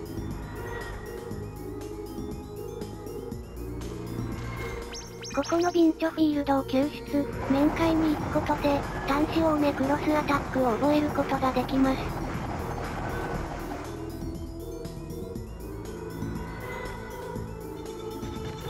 電源を入れたため、ここら辺の装置が動いています。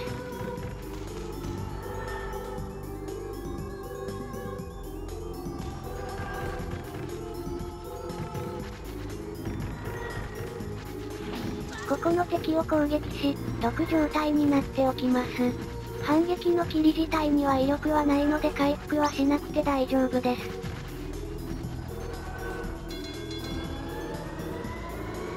みんな大好き、レッツ洞窟。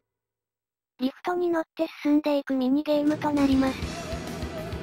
改めて聞くとこのゲームは BGM が本当に素晴らしいですね。地下の扉なんてそれぞれ曲があるのとか豪華すぎここから3分間暇なので雑談。皆さん、パート3までのご視聴、コメント、マイリス、本当にありがとうございます。元動画を消してしまった時はどうしようかと悩みましたが、皆さんのコメントを見て再送してよかったと思いました。残りはパート5と6の予定なので、引き続きよろしくお願いします。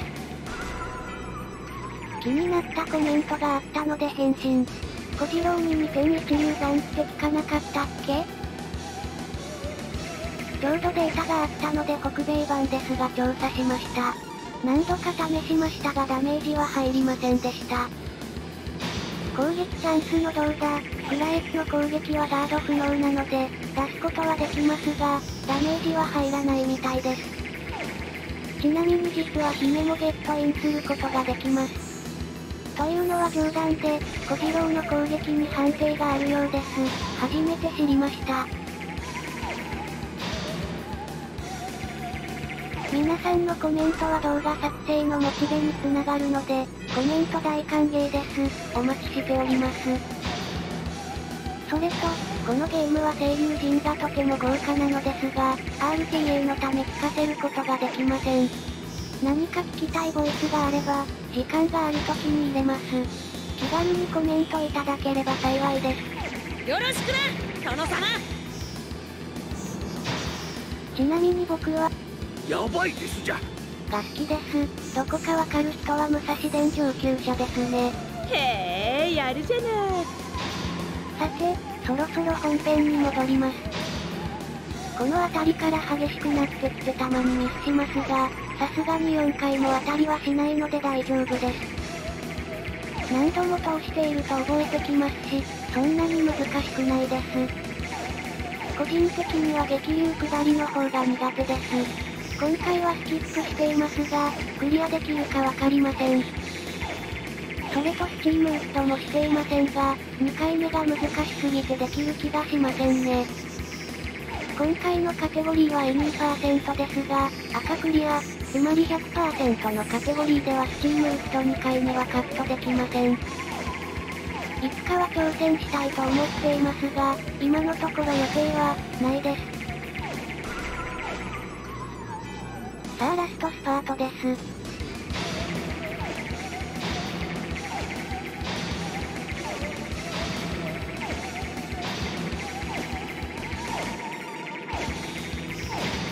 もうゴール間近なので気にせず被弾。どこから放置しても良いかは調べていないです。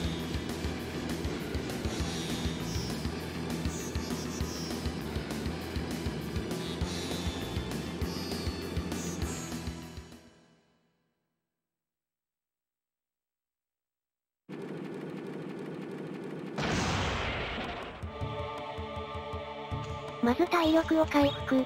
毒と BP はそのままで良いです。風の巻を使っていざ、ボス戦へ。今回はここまで。ご視聴ありがとうございました。いきなり女王アリが眼前に現れるパートを、始まるよ前回アリの巣を探索、リフトを使い奥へ奥へと進んだ結果、女王アリを発見しました。というわけでクレストガーディアン、アントヒルクイーンです。開幕まず攻撃チャンスが来るので、回転切りを頭に当てます。うーん、残念。毒状態ではクリティカル率が50%になります。頭を攻撃を出してくる幼虫は、このようにハーブを落とすことがあるので、回復してしまった場合毒切りに当たりに行きます。このトゲ攻撃はここがアンチです。睡眠して時間を進めます。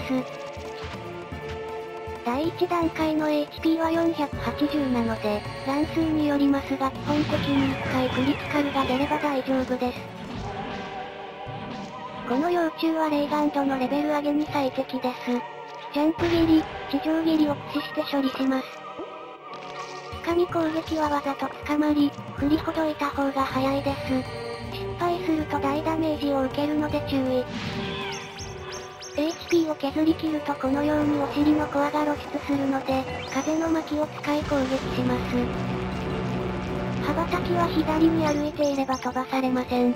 この直後の攻撃チャンスなのでしっかりと当てていきます。第2段階では6匹の幼虫を出してきます。ここの多段シフトはとても爽快です。ここの乱数によりますが、2回クリティカルが出ればうま味です。攻撃は全段階で共通で、攻撃パターンは完全に固定です。かま、3、トゲ、かま、突き上げ、つかみの順で攻撃してきます。鎌とつかみの後にしか攻撃チャンスがないので、ダメージ高乱数とクリティカルが出ることを祈ります。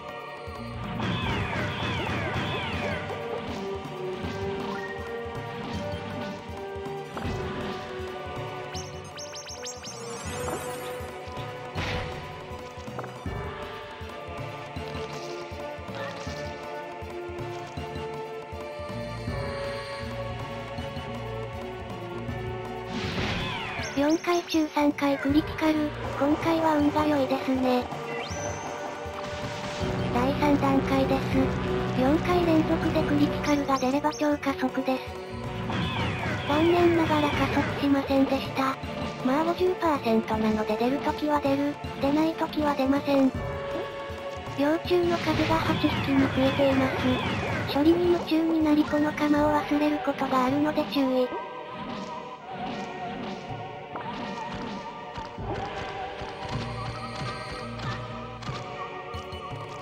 この戦闘終了時、空曜日の5時前後になるように調整します。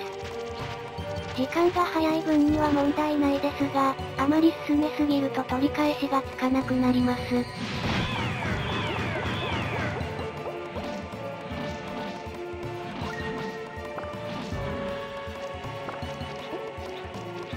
この突き上げは一番高く突き上げた大切にいる場合、突き飛ばしをトゲに刺さりダメージを食らいます。それと今回は見せられていませんが、同じ大雪の上で風の巻を使い続けると体液が出てダメージを食らいます。体液の存在を知らなかったのですが、他の奏者さんがやらかしていて知りました。最後の時間調整、今回は良い感じに調整ができています。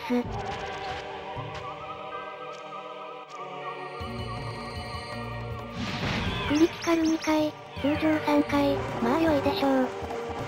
ここジャンプで飛び越え右側から攻撃と同時に落ちることで、武蔵の移動が減りに3秒加速します。本来ここで走ってコアを入手するのをカットできるというわけです。紋章を解放、いざ第6章へ。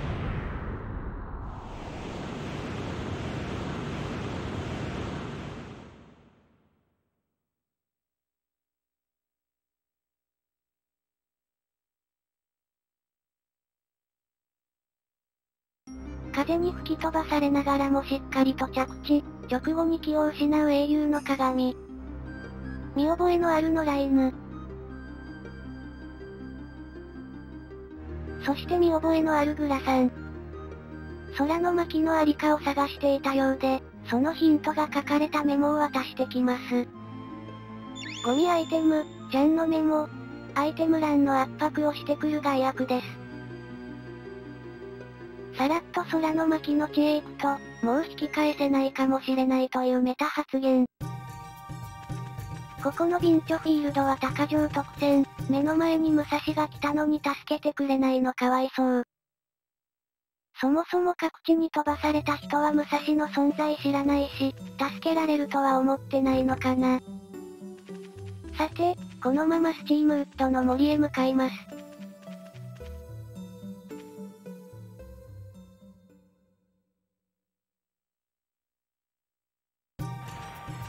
本来パイプの奥に地の紋章があり、それを解放して崖の上に登るのですが、今回地のクレストガーディアンはヘルズバレーでお休み中、解放することができません。というわけでこの壁からインフィニットジャンプを使い、無理やり登ります。壁登りを一番上からジャンプ、この状態のインフィニットジャンプは高度がどんどん上がります。この辺で見えない壁にぶつかるので、左下に向かってジャンプし続けます。ちょいちょいスタートボタンのタイミングをミスしています。落ちてしまうと最悪ですが、これくらいは許容範囲です。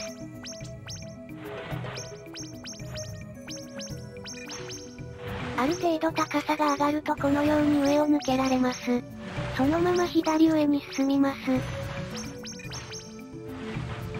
という感じで血の紋章解放をスキップ、スカルピオンさん生存ルートの完成です。いざ、空の巻の地へ。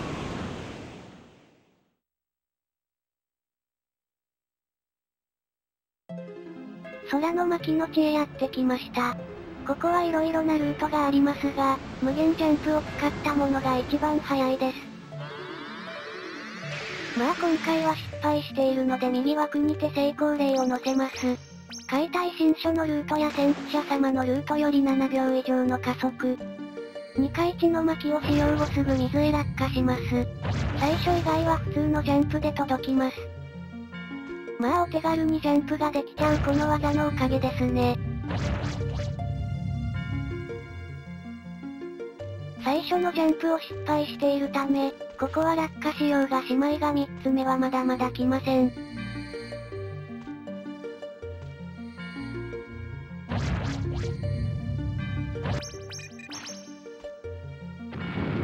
というわけで成功例と比べ13秒近くロス。ちなみに成功例は自己ベの時の動画です。さすが水の巻を使い上。次は火の巻を使い台に火を灯していきます。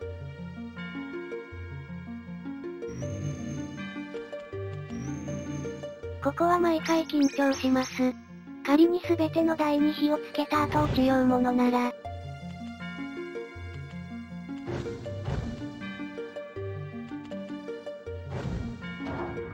ふう。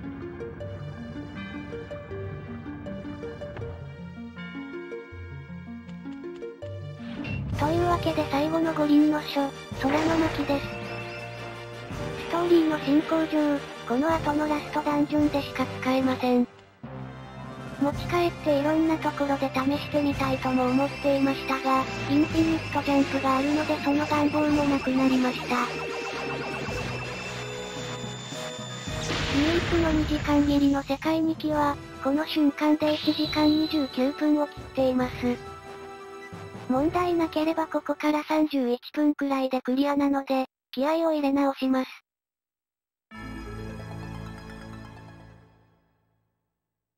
ではラストダンジョン、行くぞと言いつつメモリーボックス。記録狙いなら不要ですが、これは再掃除の録画なので、ここで落ちたら笑えなかったので安定を取りました。空の巻を使いイライラ棒ステージを抜けていきます。ここでチャージ、使用することでロスなく進むことができます。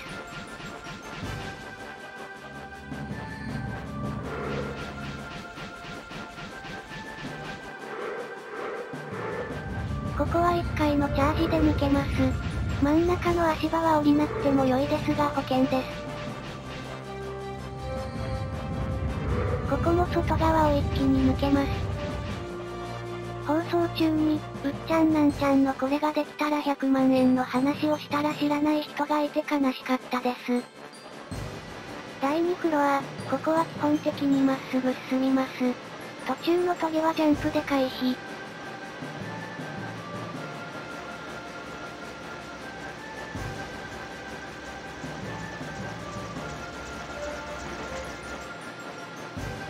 ここは空の巻を使って抜けます。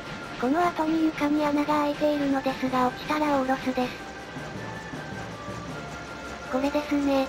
最初に戻されてしまう初見さんは多かったのでは。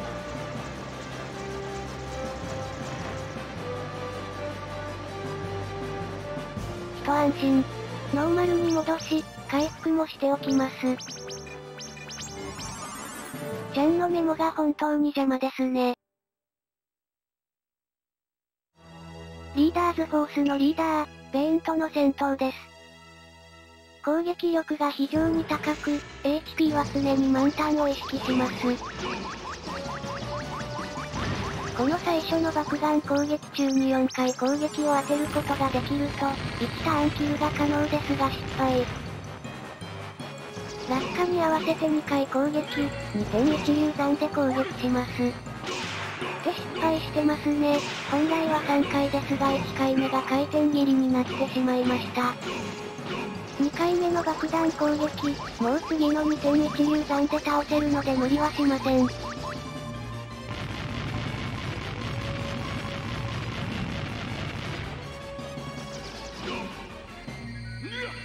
あのさ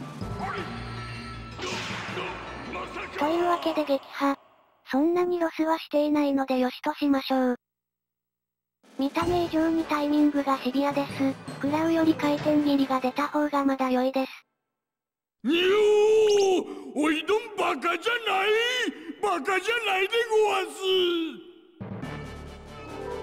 す良い BGM だここは本来カレンダーをヒントに進んでいきます。もちろん RTA では見て確認する時間もないですし、そもそもカレンダーがないので暗記です。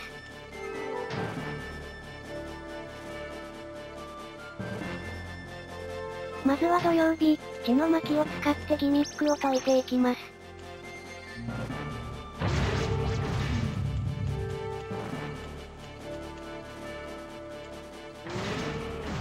ここは4回血の巻を使用することで先に進めます。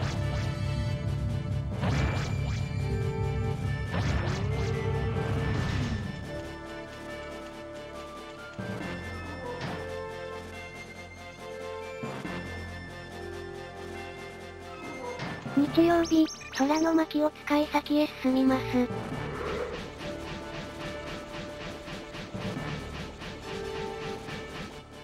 ここは床を踏んでいると通路が閉じてしまいます。空の巻ではなくジャンプで大丈夫です。月曜日、鉄棒を使って上へ進みます。ここで落ちたら悲しいので安定をとっています。火曜日、火の巻に切り替えて食台に火を灯します。つ目の食材は左に出ている火で灯します。そうすることでこの後の踏み台の周期に間に合いロスがないです。成功するとこんな感じに奥へ入り込むことができます。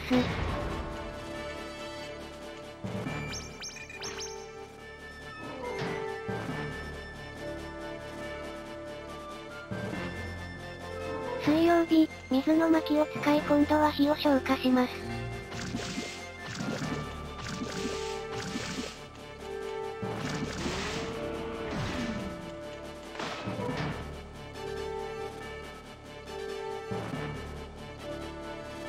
風曜日、風の巻を使いジャンプするのですが、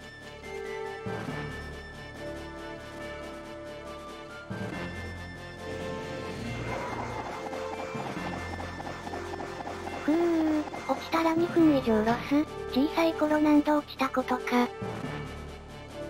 空曜日、空の巻を使い下まで降ります。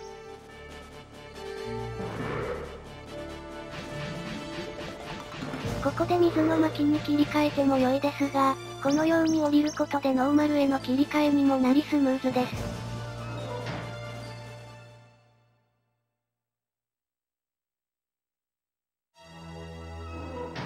リーダーズフォースのリーダー、エドです。ベインと違い攻撃できるチャンスが少ないので、効率よくダメージを与えていきます。開幕極太ビームを打ってくるので右下か左下へ対比。アンチとなっています。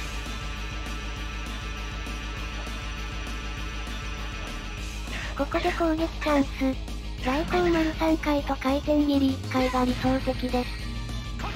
ここで待機すると、左下、右下、右上のどこかにワープします。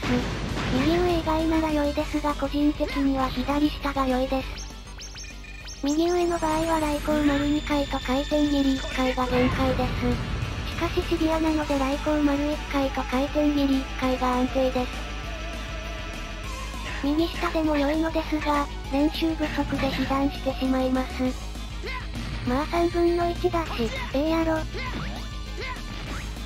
あのさうーん、もう少しタイミングと攻撃の場所をずらせば良いのですが、どうも苦手です。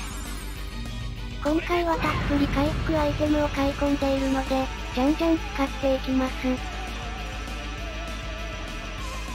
ここもライコウマルとレイガンドのレベルが大きく影響します。クリティカルを連発してくれると加速。そうそう、ここが良いんですよ。ここは安定して避けることができます。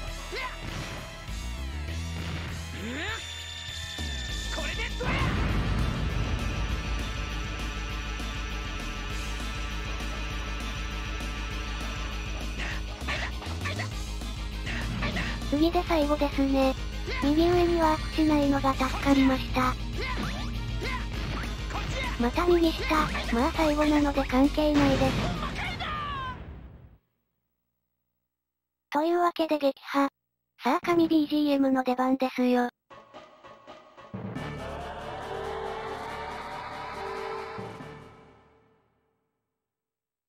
と、その前にセーブ。1ミスがゲームオーバーにつながります。もちろん記録狙いでは不要。うーん、好き。テンションが上がりますね素晴らしい BGM、豪華声優陣、ほんま最高やなって。ここは像の左に、そしてゲットイン。右へ行くと銃を撃たれてちょっと面倒です。はい、大正義手榴弾。BP 消費はすごいですが、威力も十分。門を倒した後は確定でアイテムを落とします。ここ炎だったり銃とかがよく被弾します。ちなみに炎はワンパンです。終わりです。記録狙いの時に数回焼かれましたが、心も燃え尽きます。ここの迷路も暗記、斜め移動を意識して最短ルートを走ります。ここの敵は攻撃することで盾で防御するのでそれで足止め。攻撃を食らうと80近く食らいます。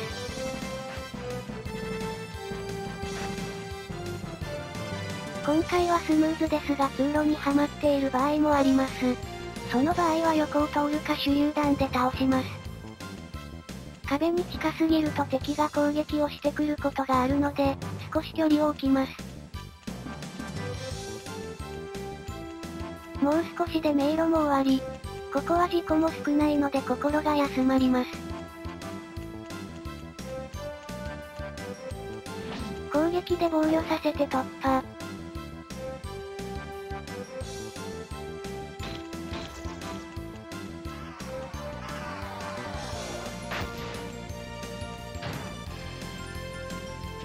この辺りから攻撃が激しく処理落ちが多いです。ズームして処理落ちを回避します。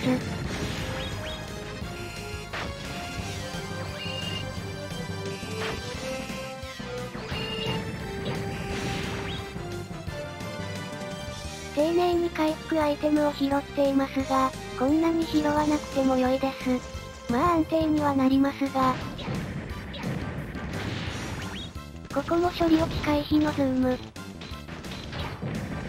この炎要注意です。油断していると焼かれます。美しい、最後はジャンプしないと越えられません。噴水を破壊後敵が2体出てくるので、手榴弾で撃破します。ここで空の巻へ変更。最速で敵を倒していると落ちたアイテムで HP が50回復します。うーん、耳が踊る。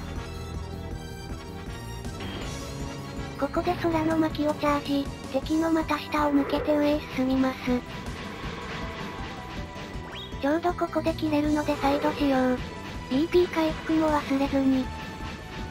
空の巻が切れるまで進み、そのまま壁の前へ。敵が近づいてきたら失敗してるじゃないか。今中に被弾していなかったら炎で焼かれてましたね。失敗したので普通に突破します。左に3回、右に3回、手榴弾を使うことで突破。BP の関係で5回しか使えないので納豆ペーストで回復します。さっきのカプセル中には BP 回復アイテムがあります。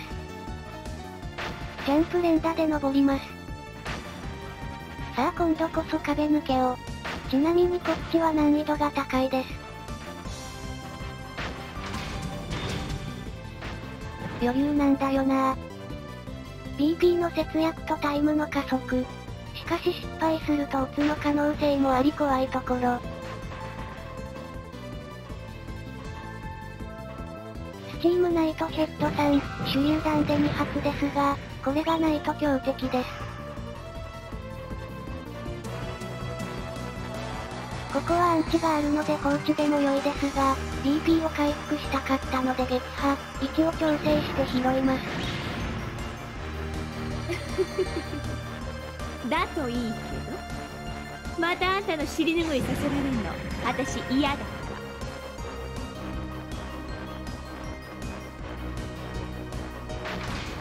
ここは普通に突破します。この BP 回復のための納豆ペーストというわけです。この攻撃をして足止め、しないと銃を撃ってきて結構な確率で被弾します。ここは右の兵士の動きがランダムです。今回は空振りしてますがしっかりと当ててくることもあります。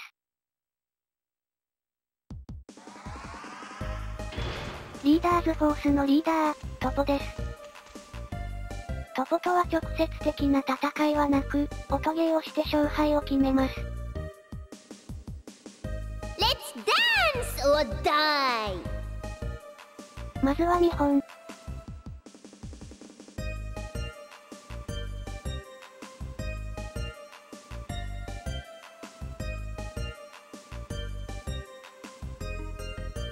ちょっと覚えられませんでした。えっと。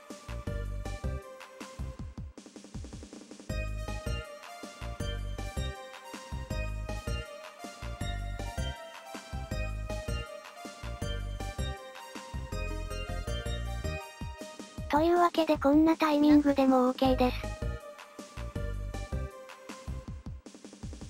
ダンスは毎回固定なので、何度もやると覚えます。むしろここがランダムだと焦りますね。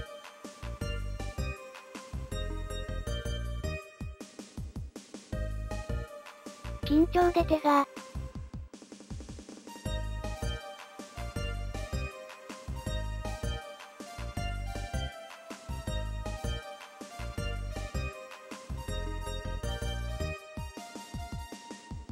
わけで少し先に動いても問題ないです。最後のダンス。ここの罰を忘れることがたまにあります。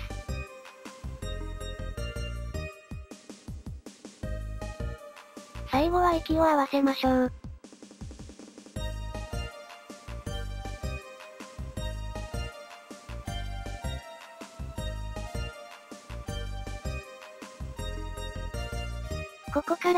タイム。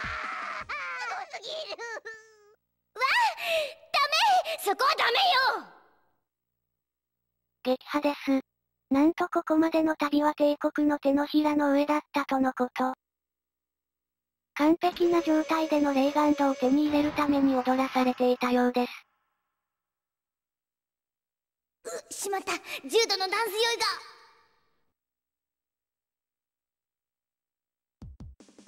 上へ行くと回復アイテムが2つあります。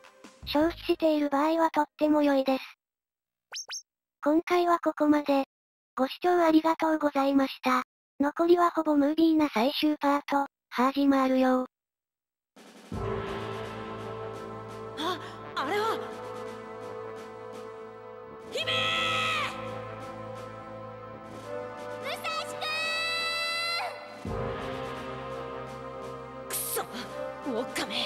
姫をどうするつもりだ？というわけで前回敵の本拠地であるリカーバレルを攻略、リーダーズフォースの3人を倒し奥まで来ました。初見プレイ時でも思いましたが、武蔵と姫ってそんなに親密になるほど合ってないですよね。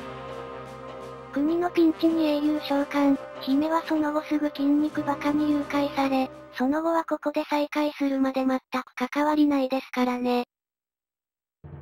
さてこのゲームにおける最大のお祈りボス、運ゲーオブデスです。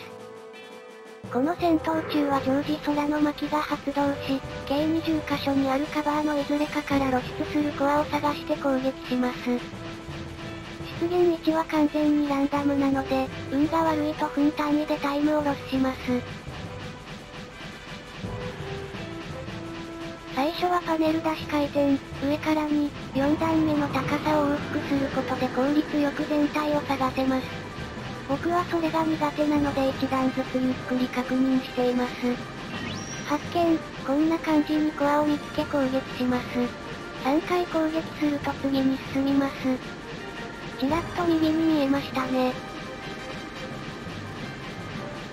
2回目、次攻撃するとパターンが変わります。この探し方ですが、1、3、5段目にコアがあった場合早く見つけられますが、2、4段目にあった場合は遅いです。こういう風に、最後に確認するため時間を使います。ここはまだ良いですが、この後にこの遅さだとオーロスです。3回攻撃したのでパターンが変わります。電撃攻撃中はコアガに、4段目に出現するので3段目で待っていれば確実に見つけられます。ここ右に向かって飛んでいますが、左に向かって電撃を避けながら上下した方が早いです。しかし今回は運よく3回とも目の前で開いてくれたため、こっちの方が早かったです。言ってることめちゃくちゃ。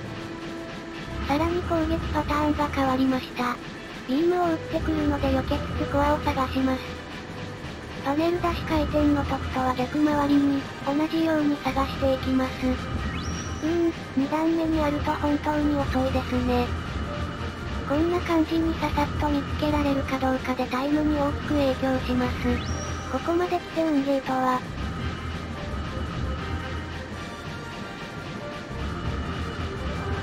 ここ上の段の確認が多いですね。ビーム時は壁がないので上下に動いて探した方が良いです。残念、今度は4段目でしたね。ここからはパネル出し回転、電撃、ビームを29秒ずつ使用してきます。しかしコアが出ているのは13秒だけなので、早く見つけないとループしてオーロスです。このように各攻撃の間に混乱の波動を挟んできます。アンチがあるので当たりませんが、演出が長いです。武蔵のわらじとパネルの端が合わさる場所、ここにいれば当たりません。電撃中は確実に見つかるのですが、パネル出し回転とビーム中に見つけられるかがポイントです。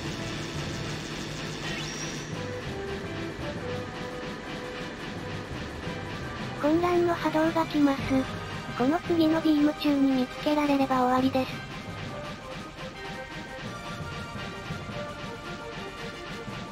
アンチで回避。一応一番下にもアンチはあります。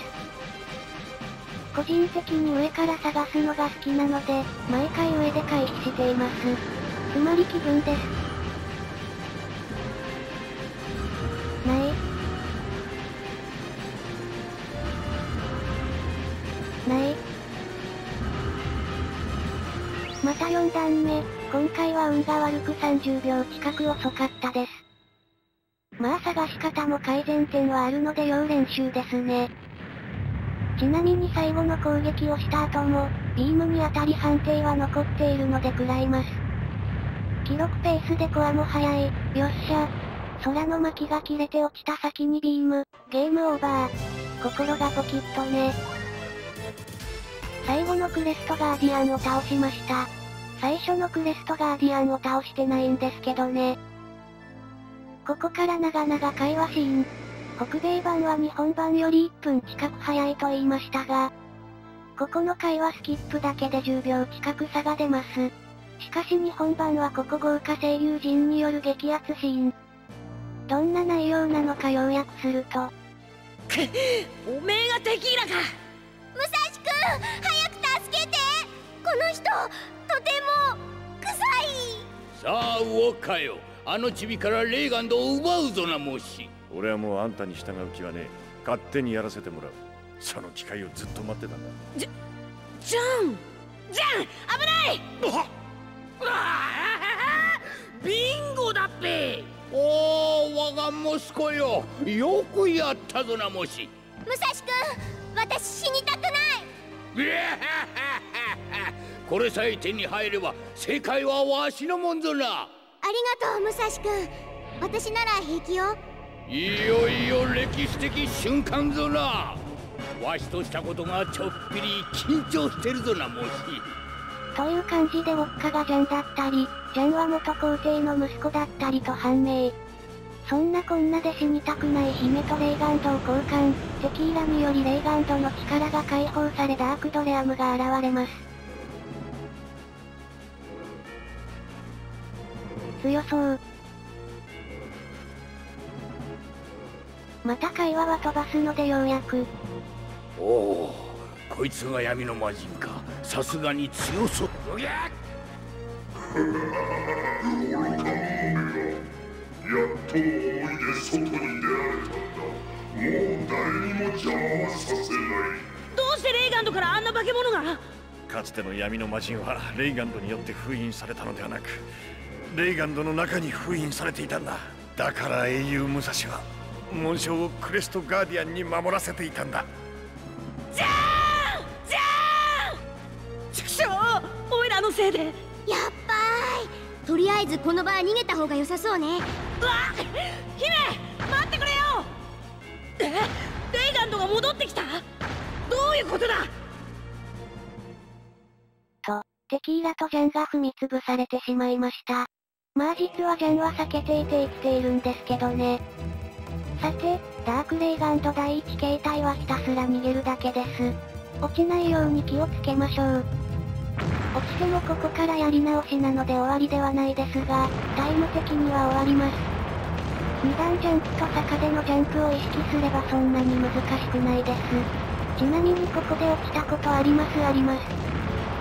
ここはまだ良いのですが、この後が結構落ちるので緊張しますね。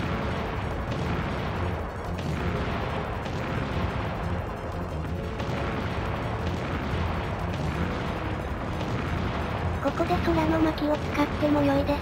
早いかはわかりませんが最近はよくやっています。遅いぞ武蔵。いつまで待たせる気だ。武蔵くんごめん。また捕まっちゃった。小次郎生きていたのか。姫危ねえ。何？この飛び方毎回笑う。さすがにこの高さからあんな飛び方したら姫も、一方小次郎ですがなんと吸収されてしまいました。闇の魔人と佐々木小次郎の融合、一体どんな強敵が生まれてしまうんだ？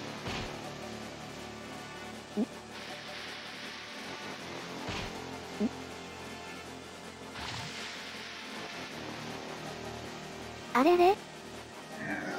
ここサンシャイン池崎。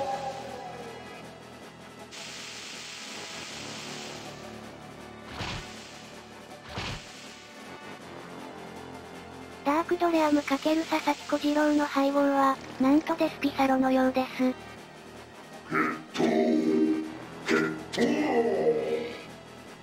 小次郎の思念が強く影響を与えており、武蔵との決闘に執着しています。ここは敵が飛んできた時の処理落ちがひどく、操作のタイミングを間違えると落ちてしまいます。敵は3回飛んでくるので、その時は落ち着いて操作。ちなみに解体新書にも、ゲームのスピードが突然遅くなったりするので、タイミングが取りにくいと書かれています。武蔵伝は PS3 やビタでアーカイブが発売されており、そっちでは処理落ちはほとんど発生しません。PS に SCP-H9 万でプレイしていてこれですので、当時の環境ではもっとひどかったと思います。というかもっとひどかったです。ここで何度落ちたことか。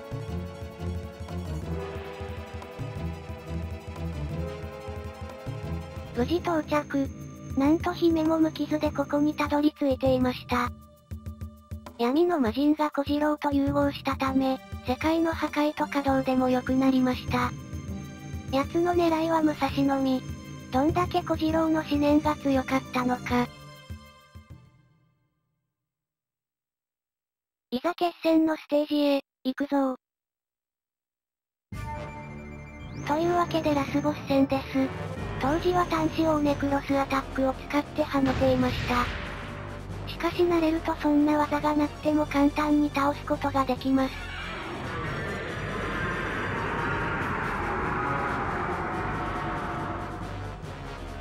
畜生ぶった切ってやる開幕敵の目の前にダッシュ、頭のコアをジャンプレイガンド切り。敵の肩がピクッと動いたタイミングでサイドジャンプ切り。そうすると敵に何もさせずに連続で攻撃できます。攻撃後は炎か衝撃波を使ってきますが、炎の方が簡単かつタイム的にも速いのでありがたいです。この衝撃波は敵の真下で回転切り、空の巻き、普通にジャンプ、等いろいろな避け方ができますがこれが楽です。これを5回繰り返します。肩のピクッというタイミング、なんとなく分かってもらえましたか？緊張して早く攻撃してしまうこともあるのですが、そうすると掴まれてしまうので動いたのを見てから攻撃します。ちなみにコアへの攻撃は雷光丸だったり、水の巻や火の巻でも大丈夫です。しかしレイガンドと火の巻きは4回、雷光丸と水の巻は8回攻撃が必要となります。今回は見せられていませんが、側面に回り込むとテールアタックという技を使用してきます。手が速く威力も高いですが、使わせなければどうということはない。ラスボスを撃破、これで世界に平和な日々が訪れますね。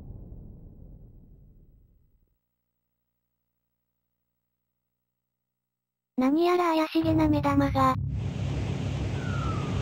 周囲に設置されていた銀極クリスタルを吸収しています。なんでこんなところに設置していたのか。というわけで真の最終決戦、ダークレイガンド最終形態です。雰囲気、BGM、そしてその倒し方、武蔵伝 RTA で好きなところはどこか聞かれたらここかもしれない。開幕はメテオストームを使用するので相手の真後ろに移動。安定を取るなら水の巻を使用します。この状態で相手にゲットイン。この倒し方に気がつかないで何度もやられました。ゲットイン後のコアにレイガンドで攻撃。634ダメージが入るところとか本当に好きです。足場の模様を目印に敵が動いた瞬間に再度ゲットイン。解体新書にも書いてある、連続差しです。ここは行き過ぎて落下しないように気をつけます。3回目のゲットイン、ここが個人的には難しいです。今回はタイミングが少し遅く失敗しています。気を取り直して連続刺し。理想は最初に3回、デモンシードを使用後に2回です。しかし最初に2回、デモンシード使用後に3回でもそんなにタイムは変わりません。折り返してからの相手との距離は模様を目印にするか、なんとなくの感覚で決めています。何度かやっているとここかなというのがわかります。最後のゲットイン、敵を倒した瞬間にタイマーストップです。というわけで撃破。本来は2時間6分5秒という記録だったのですが、元動画を削除、再度走ったためずれています。まあそんなにロスのない走りだったと思います。元動画には元動画の、今回の走りには今回の良いところ悪いところがありました。全部うまくいっていたら2時間2分は出ていたと思います。感動のエンディング、しばしお楽しみください。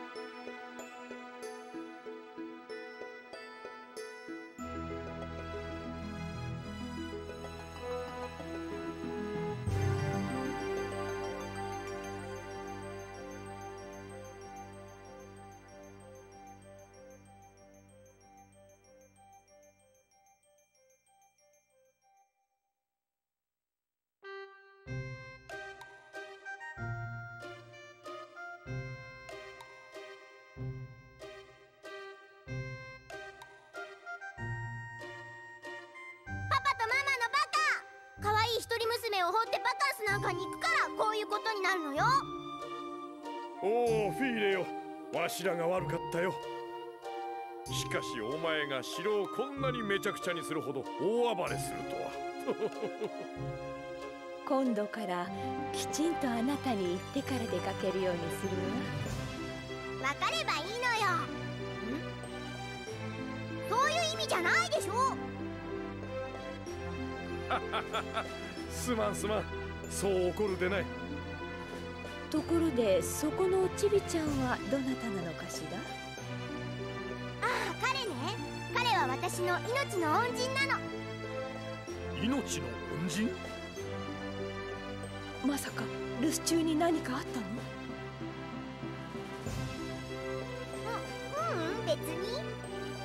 ねユッケルジあいやあのそう。姫様がお暴れになった以外はなな何事もなく平穏無事な毎日でしてこれが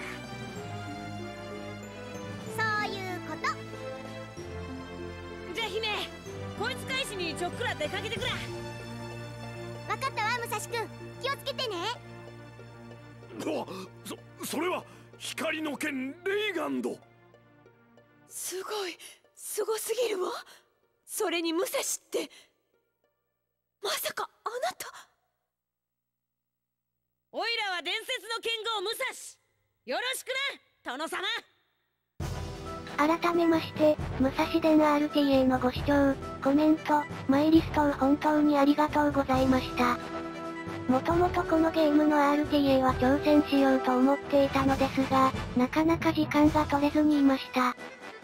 今年に入り時間が取れそうだったので練習を始め、海外に来たちの指導のもと3ヶ月、日本一位になることができました。参考動画、参考資料など用意してくれた海外に来、本当に頭が上がりません。まあ全部英語だったので、翻訳するのに半月ほどかかったのは秘密。挑戦当時日本一位だった人にもアドバイスをもらったり、動画を見させてもらい、とても助かりました。また僕が武蔵伝 RTA に挑戦した時、同時期に一緒に走り始めてくれた人もいて刺激になりました。ちなみに武蔵伝のディスコードがあるのですが、驚異のスピードで日本人2人がタイムを縮めているぞ。と話題になっていました。ライバルの存在はやはり良いものですね。感謝。この動画を投稿してから、僕が見つけただけで2人新規走者が現れました。1人は3時間、もう1人は2時間半と、とてつもないスピードでクリアしています。僕のこの記録が抜かれるのも時間の問題ですね。今後は世界3位以内を目標に、北米版での RTA に挑戦予定です。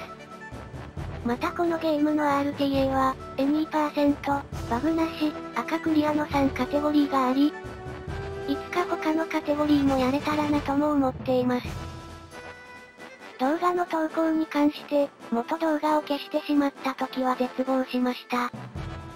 大きすぎてゴミ箱に移せないなんて、なんかそんなに大きなファイルあったかなポチー。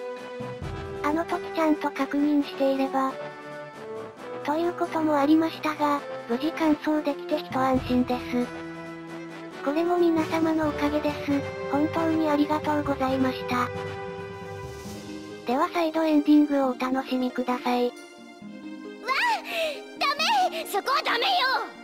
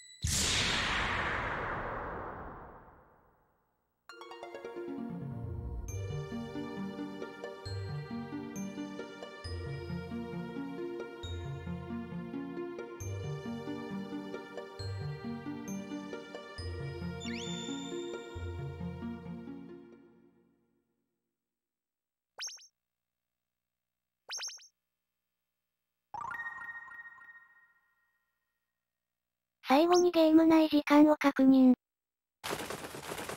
先ほどのは再掃除のもの、自己ベストは左のものとなります。